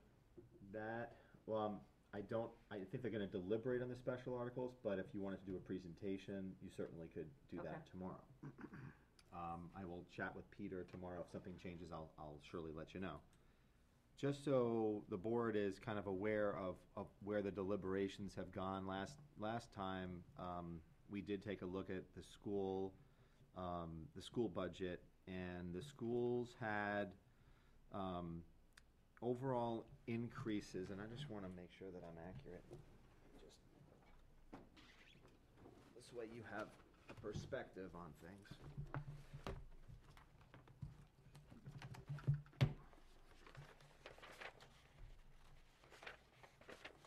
Bear with me one second, because, uh, Stacy gave us a nice handout here. Okay. Um, here's where the significant increases were on the school budget, and some of them are similar to us. Um, retirement. The increase in retirement costs for the school district is, uh, one full calendar year, keep in mind, four hundred fifty-three thousand thirty-one dollars. Ours was about a hundred and Seventy-nine, one seven, was it that much? for six months, yeah. Okay. So, Say that again. One, one hundred and seventy-nine thousand, but that included a new position, right, you know, the, um, GTV. but that's only for six months because we're on a different fiscal year. Right. Um, special ed, uh, tuition was fif- approximately fifty-three thousand dollars. Um, the Mountain View Middle School roof, um, that needs to be replaced, it's about twenty-one years old. And it already, they already put about thirty thousand dollars into roof repairs because they had some leaking, um, that's two hundred thousand dollars. Um, they had a total of, of, an- of, in their budget of new positions at five hundred and sixteen thousand dollars, of which the budget committee cut the vast majority of them, um, at the last session. Um, the only positions that were not cut, new positions that were not cut, were driven by, uh, special education needs. There was a paraprofessional needed because students who have been identified as being special needs need, um, an aid, and therefore those, you know, those are IEP driven, those, those were kept in place. There was a new special education teacher. Um, again, that was for, um, autistic students that have already been identified from the Glen Lake, uh, kindergarten and, and, uh, uh, program.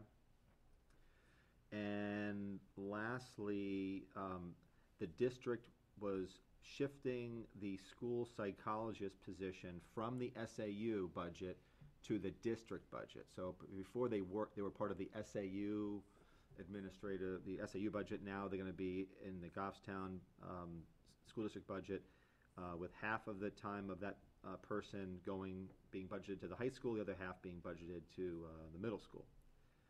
And other than that, all the other positions, there was a tech position for technology that was cut, um, a full-time math teacher at the high school that was cut, and increase in world language, uh, at the middle school that was cut, so, um, su- suffice to say, unless it was essential, it was, it was cut.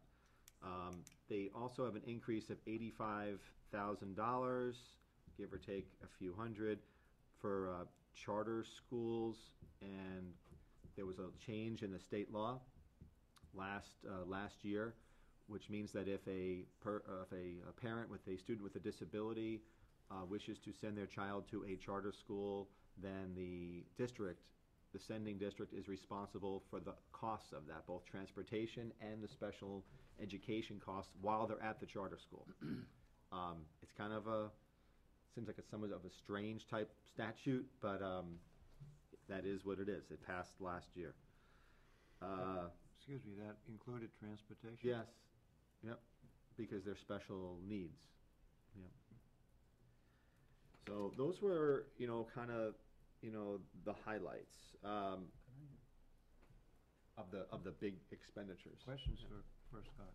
Yeah, just on that one that you talked about, do you know how it got final passage? Did it get a signature, or did it go thirty days and just pass without? I have no idea, Just curious. yeah.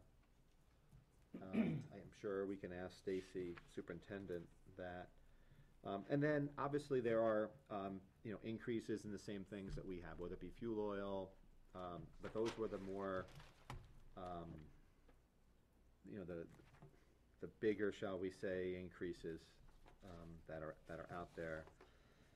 Um, nothing, you know, glaring, I mean, I, I shared with this, um, I did one for both our budget and the school district's budget to see what was it like, like eight or nine years ago, and what is it like now in terms of what each department or each budget line is to, um, the total budget, and there's really no, there's really no big anomalies that are, that are out there in terms of, um, you know, to give you, an- it- to give you an example, like, um, our fire department budget back in two thousand and three represented eleven percent of our total general fund budget.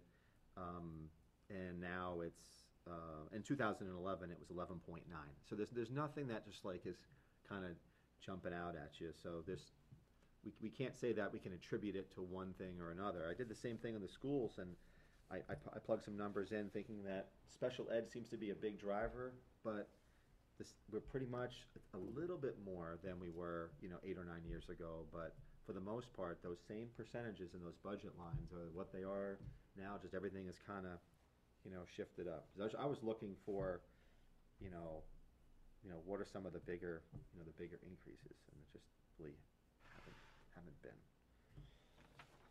So, that raises the question, um, on a couple of things. You know, I, I don't, I'd like to get, I've always, I'd like to get guidance if we have special articles, obviously in the town side I know what to do, but if we get a special article for a building improvement plan or something, I would like to get your, something like that, I'd like to get the board's input on how you want me to vote, you know, on something like that. Obviously, I can't ask, as there are quick individual motions, I can't possibly come back and ask you how I should be voting on some of these things, but on something like that, I, you know, you'll have the facts and I'll vote however you want me, um, you know, to vote. Did you say that was on special articles? For the Yeah, school. For the school, because I'll, I'll know how, you know, what the board wants me to do on the town ones. Um, But anyway, it got me thinking, um, obviously on, the- on the school side, a lot of positions were, were not funded. Um, And I know I'm gonna hear tomorrow, uh, tomorrow night, I'm gonna hear, well, we have, you know, the GTV, you know, coordinator is one of these positions. We have the police department.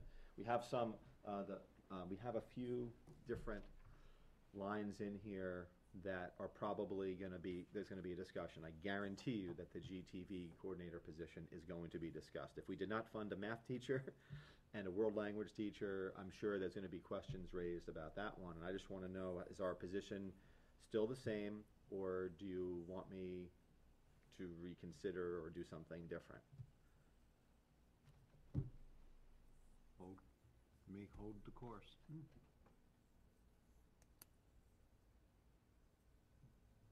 For the Goffstown TV, it's uh, effectively a, a half-year addition, not, not a full addition of a person.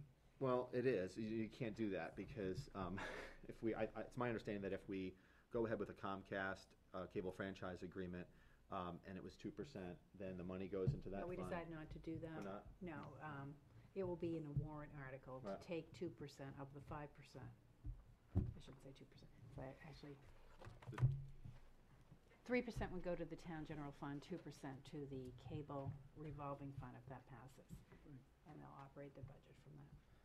So I guess my, I guess my, my question is, is, is there any way of, um, you know, dealing with that incrementally? And I, and I say that, is there a possibility of us phasing this in over a five-year period, the period of the franchise agreement? I didn't, I didn't get a chance to talk to you about it, you know, today, but could we say, okay, in year number one, you know, th- it's gonna be revenue neutral, that this, there's only gonna be sixty thousand dollars in that fund for them to function with GTV.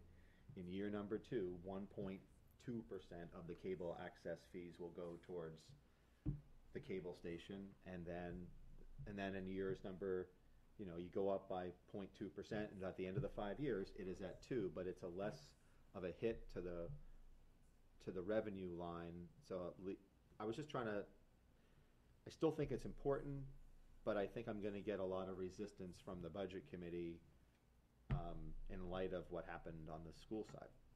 So, I'll certainly argue and defend any position you want me to, but I, I suspect that I'm gonna get some resistance. Current, their current budget this year is, would equate to more than one percent of the revenue. Okay, so if it was, started off at, even if we graduated it, gradually increased it, starting at one point two percent, and we, it was, after four years, it was at the full two. I don't know, I'm just trying to have something to come back, you know, tomorrow night, cause I, I, I mean, I'm very confident that that's gonna be, that's a sixty, So- uh, fifty to sixty thousand dollar swing in our, Well, we would have, had I known you were going in that, that direction, we would have hired uh, a replacement for Dick as a part-time coordinator, p- rather than stressing out poor Dave doing it all over there Well, we alone don't, for I the mean, past. these things, I mean, I don't think anybody can predict what a budget committee is gonna do or the way things are going. So last Thursday, I'm just reacting to what, you know, I saw the votes that were taken, and I think it would be very, None of those had revenues to offset it, though, right? Those Um, positions.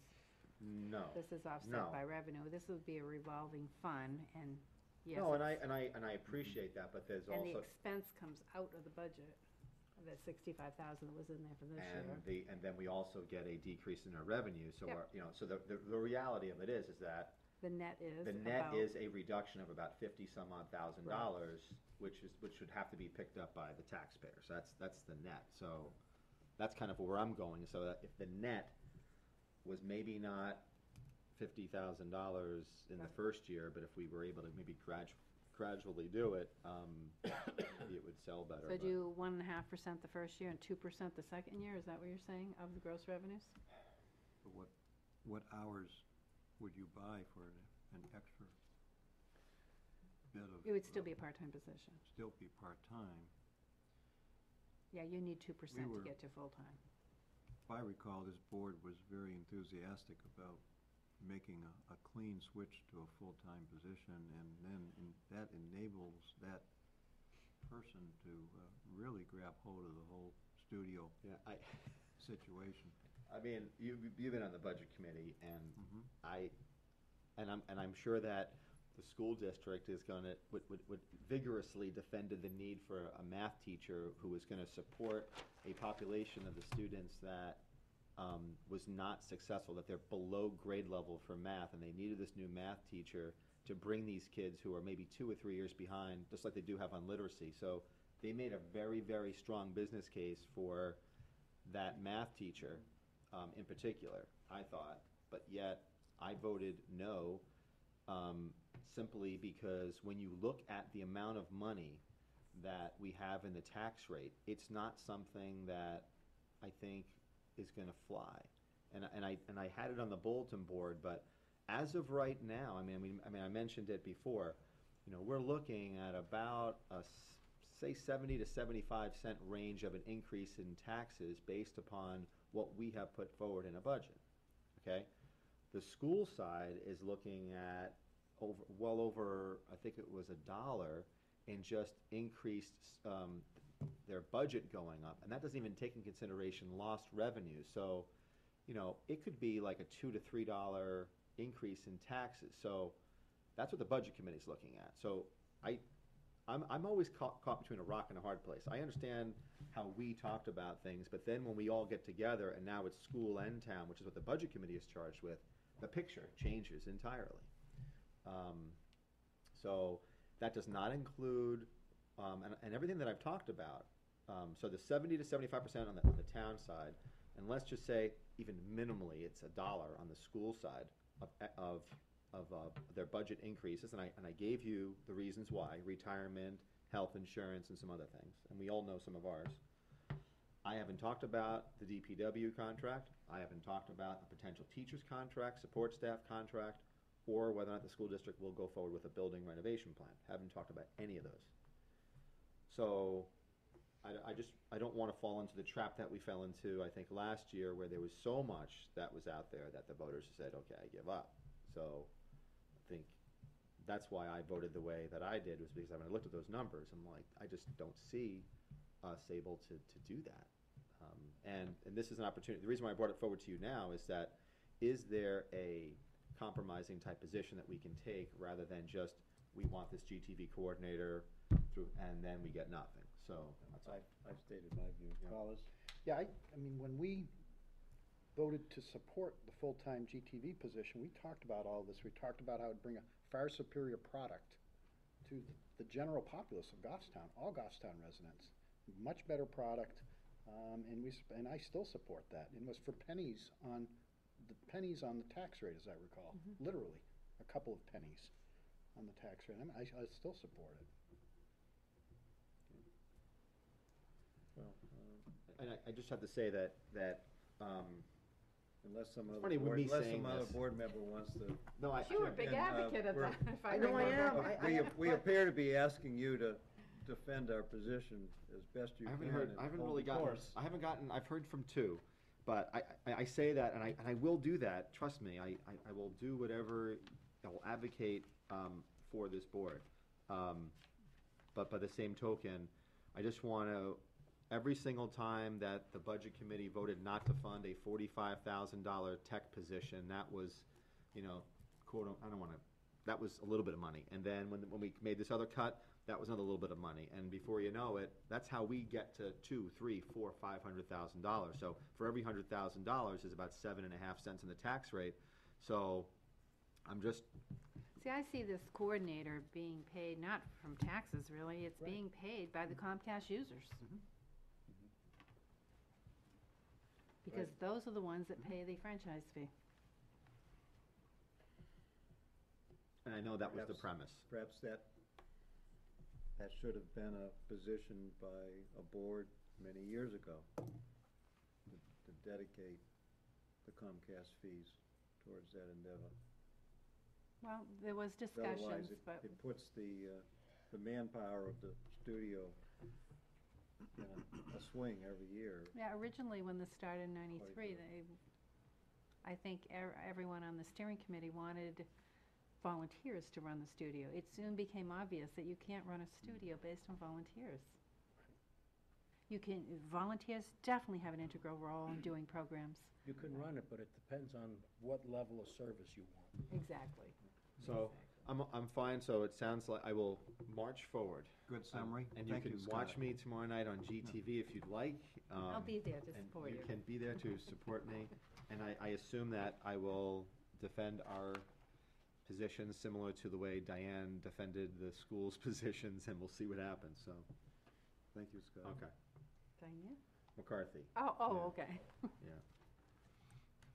Continuing new bus, uh, old business. Okay, new business for discussion, or future subjects need to be discussed? Um, I did. Oh, let's, uh, let's give Mark a chance now. Yep. Wednesday night is the Economic Development Council meeting at six thirty. Wednesday night is our Goffstown Fire Rescue Association dinner, which I'm cooking for. I will not be able to make that meeting.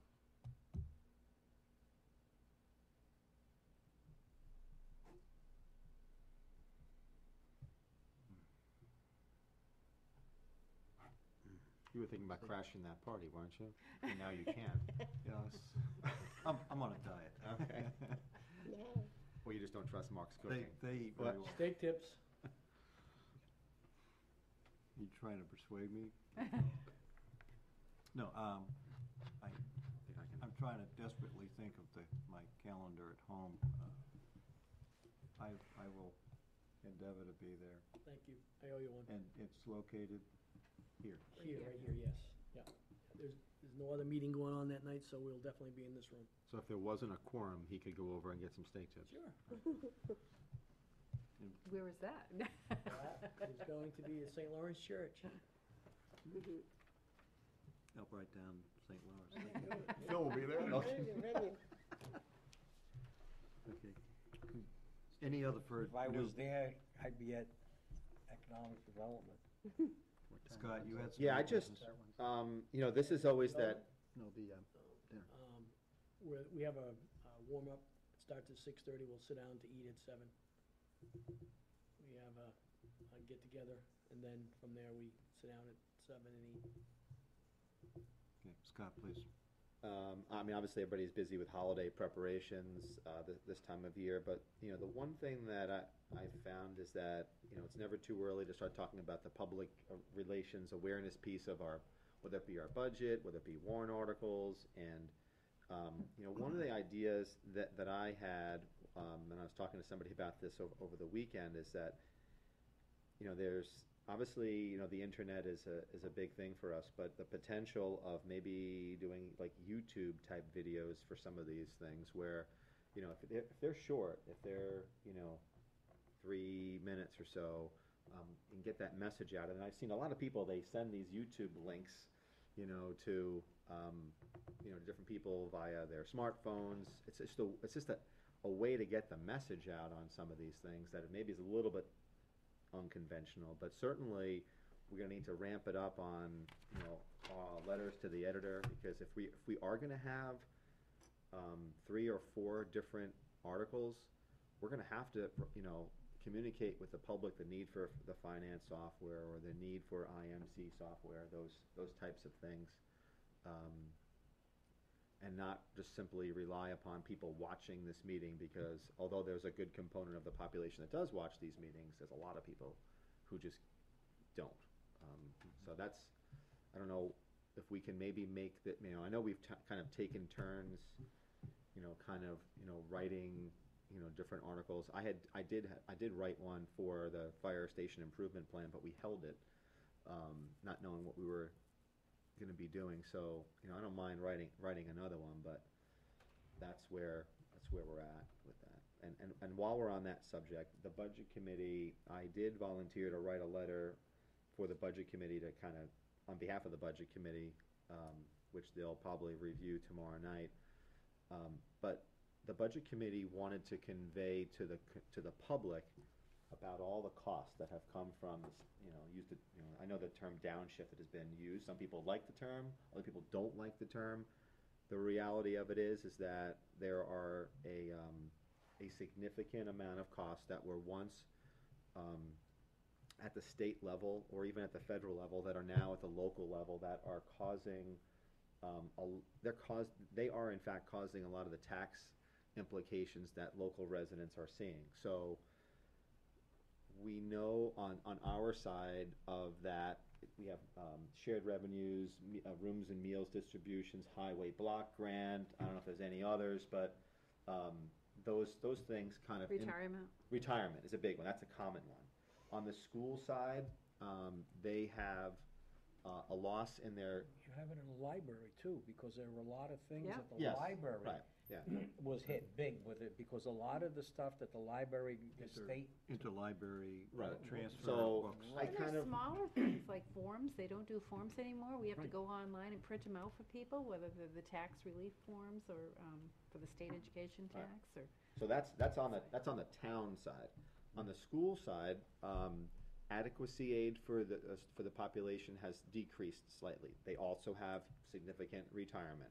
Um, catastrophic aid, so when a child is deemed, uh, to have special education needs, the local municipality pays for everything up front. So if that was a hundred thousand dollar cost, out-of-district cost, the local municipality, the local school district pays that hundred thousand, and then in the following year, they get a reimbursement.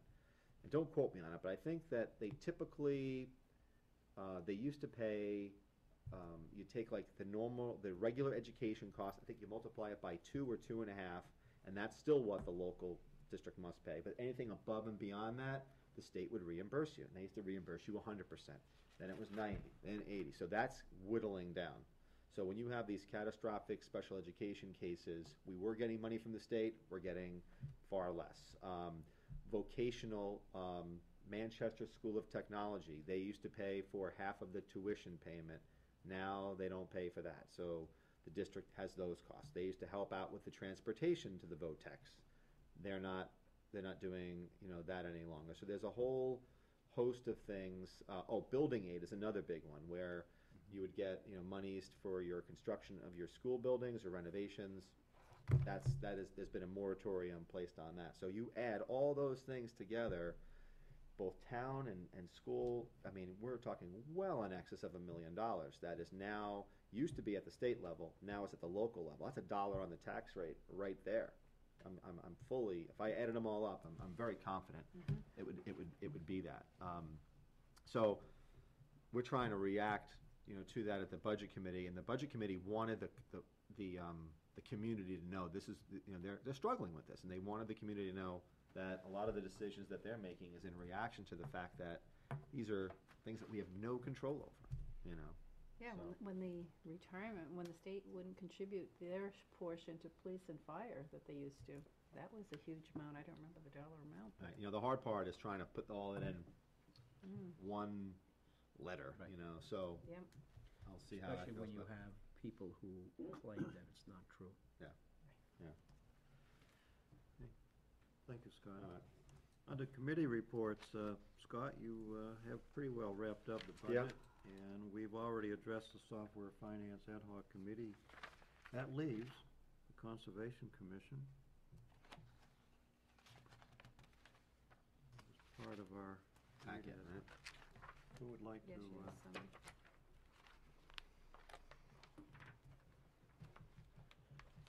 who would like to speak to the uh, conservation notes? Yeah, I'd be happy to. Attended the Conservation Commission meeting. Uh, It was a fairly light agenda. Uh, The one item that took up most of the time was a request by somebody down in Dennis Park uh, relative to decks and platforms. uh, they- One of these green portable tents or garages, if you will. Um, Had a number of variance requests before the ZBA, so the ZBA asked us, asked the Conservation Commission to comment on them.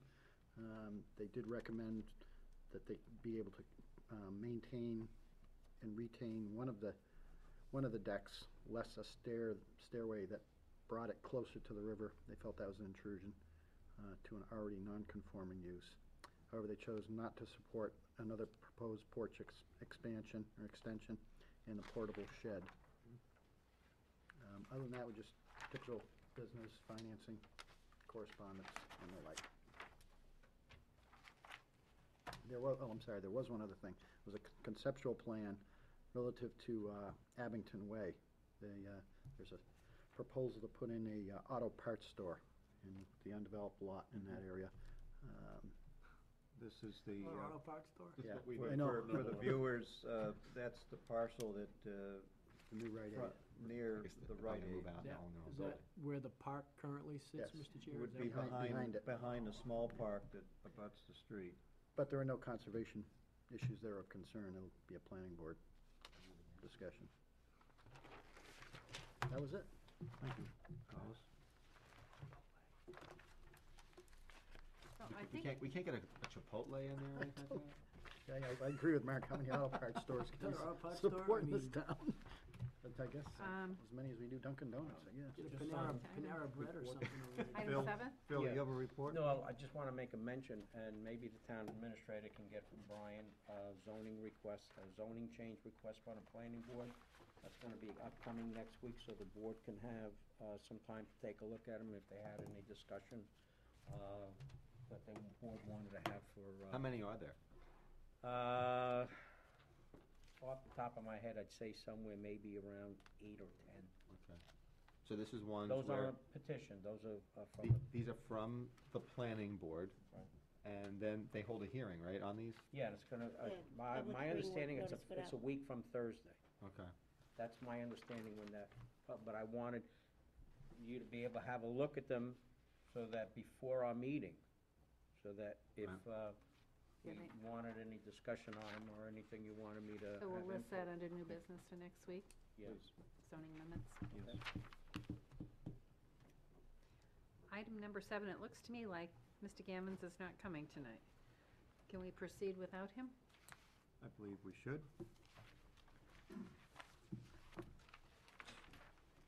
Opening up number seven. And thank you for waiting, Carl. No problem. This deals with a joint resolution between uh, our board and the Goffstown Village Water Precinct for DPW doing some reconstructing of Pleasant Street, but then uh, water line being put in. And by common, combining our efforts, we can be more effective. Um, Exactly. Just, Please explain that.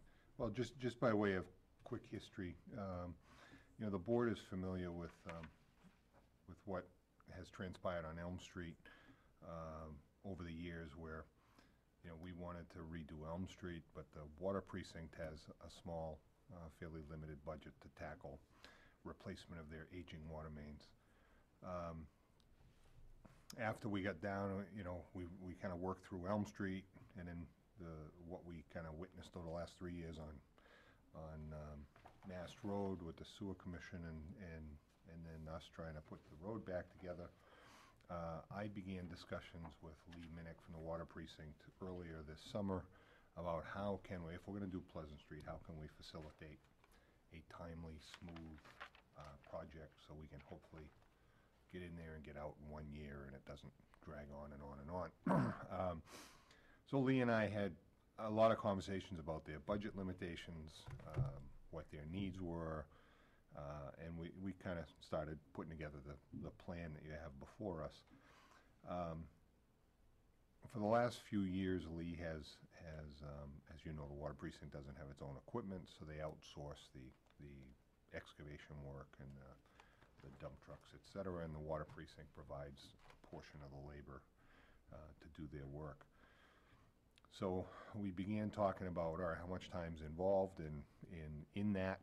Uh, Lee gave me some production estimates of what they've experienced over the last couple of summers. Um, Lee started having conversations with the water precinct.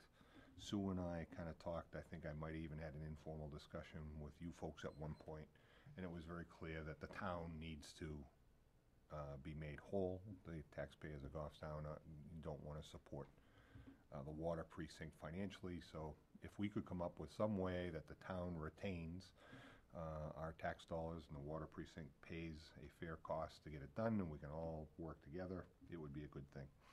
What you have before you, I think, accomplishes that. Um, I put forward the estimate that's attached to this, um, working with Lee on kind of daily production with our crew costs and our equipment costs and, and salary costs.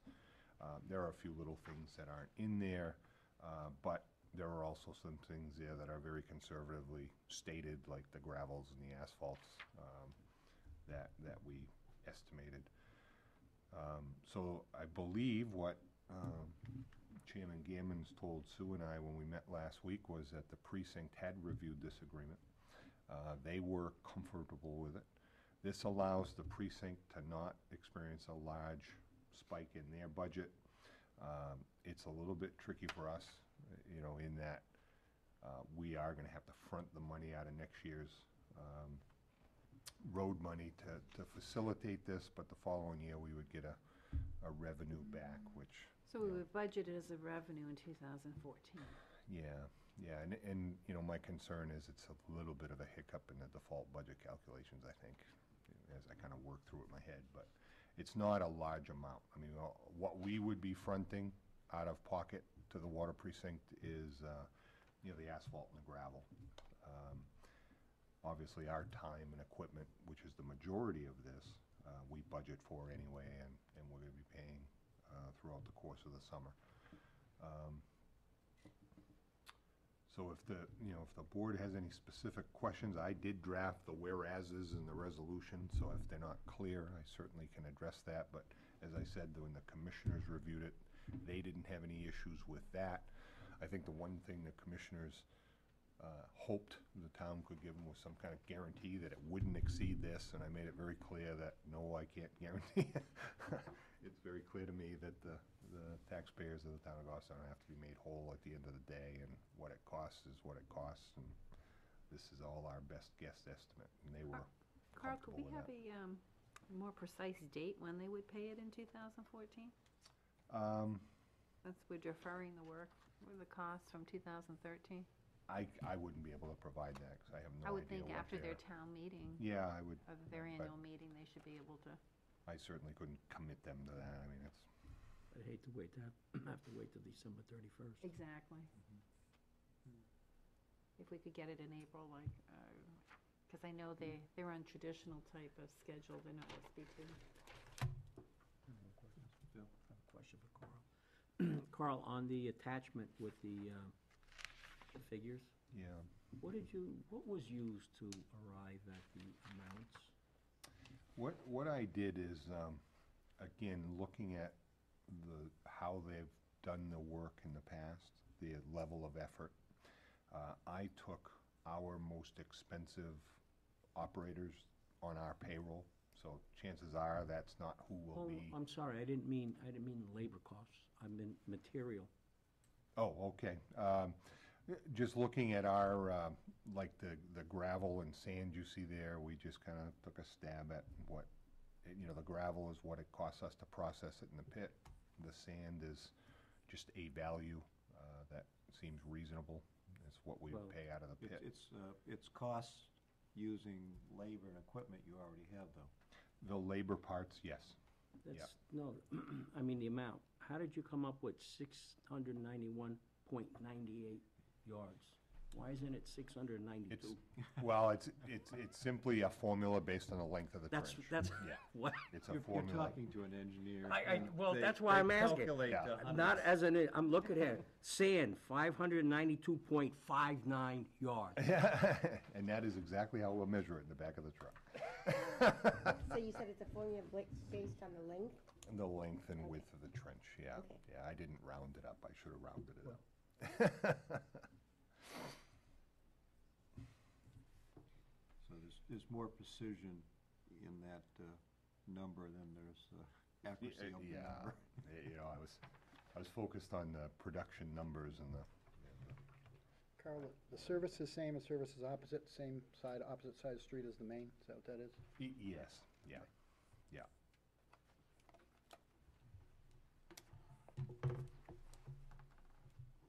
Yeah, there's more, obviously more trench involved crossing the street. Fine. Would the board like to proceed forward with this resolution between the village water precinct? I won't, What- I, I don't want to. No, I'd like to see a more specific date.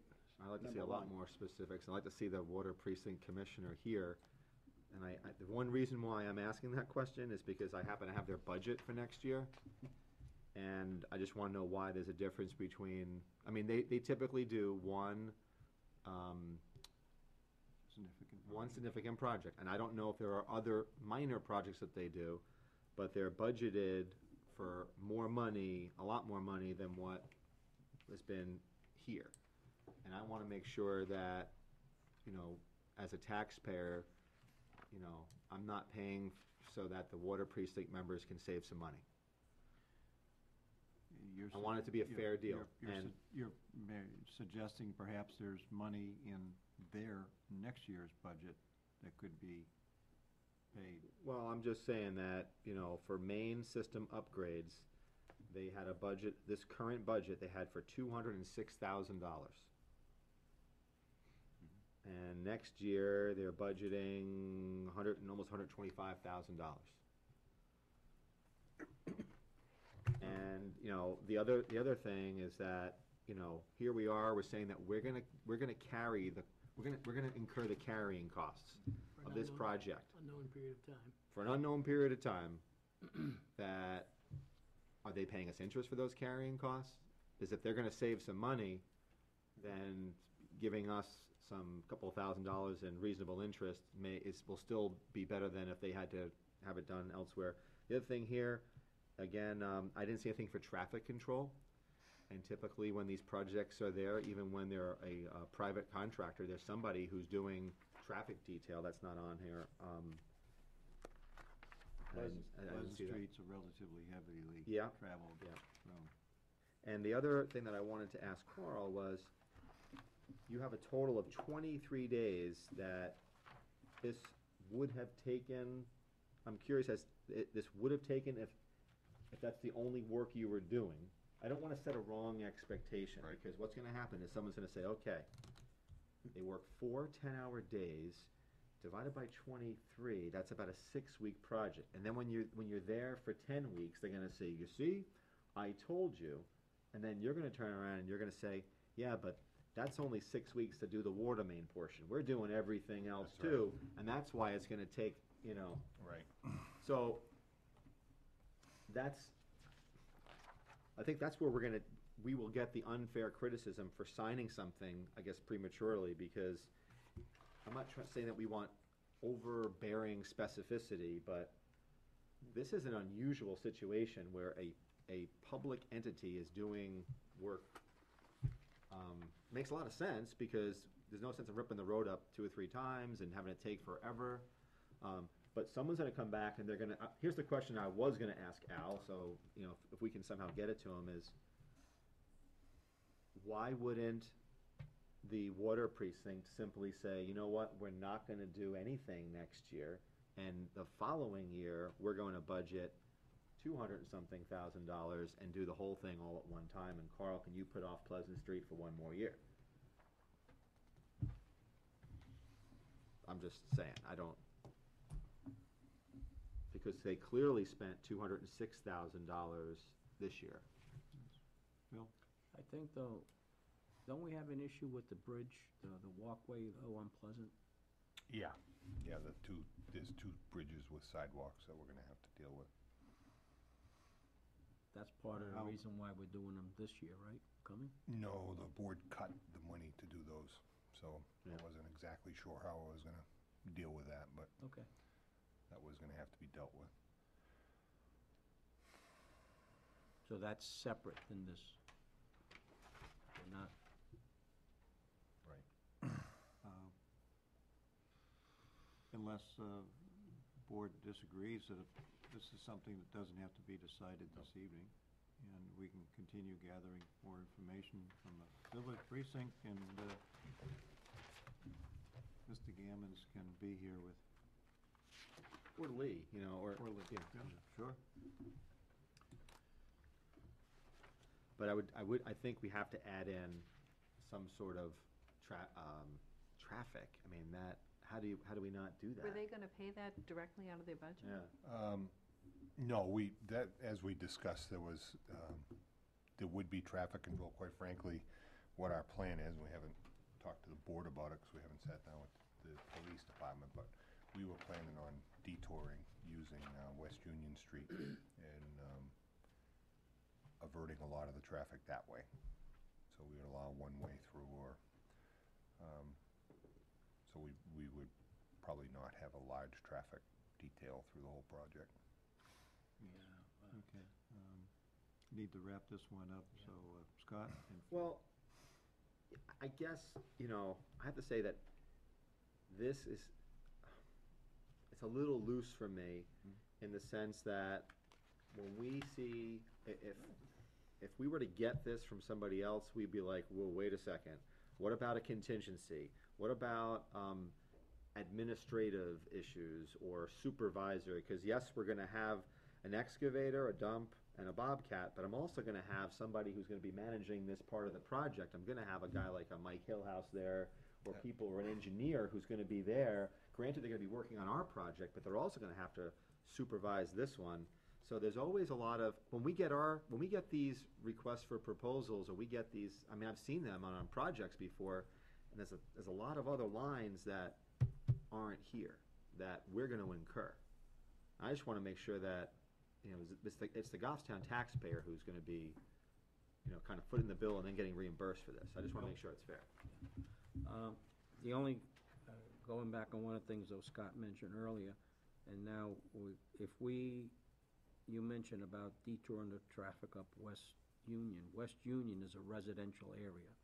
So the one thing we're gonna have to make sure of is if this project, as Scott said, if this, we say this project is gonna be X amount of time and something happens, it becomes longer, and we have that traffic de, you know, going detoured up West Union through the residential area, then uh, we're gonna hear from some unhappy folks from West Union, and it's gonna exasperate Right. what Scott's point was.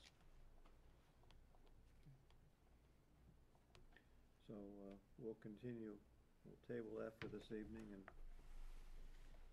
add more resolution to the, the whereases on this agreement. You mean like a proclamation? Thank you This, all. this is what what it it was. say, two thousand linear feet. And I didn't- I don't know.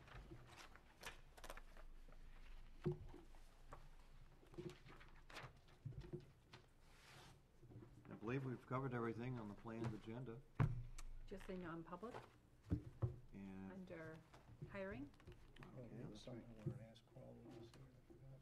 Just a second. Okay, And- for the board table. You had a non-public, I Yeah, What would that be under? it would be under compensation. Compensation, so A and B. And can I say something on my case as well in non-public, please? Sure. Yeah, Is it A and B? Um, A. Okay. um, motion to, uh, end our public session and, uh, concerning going into non-public. Motion to enter non-public by, Moved. Under whichever one.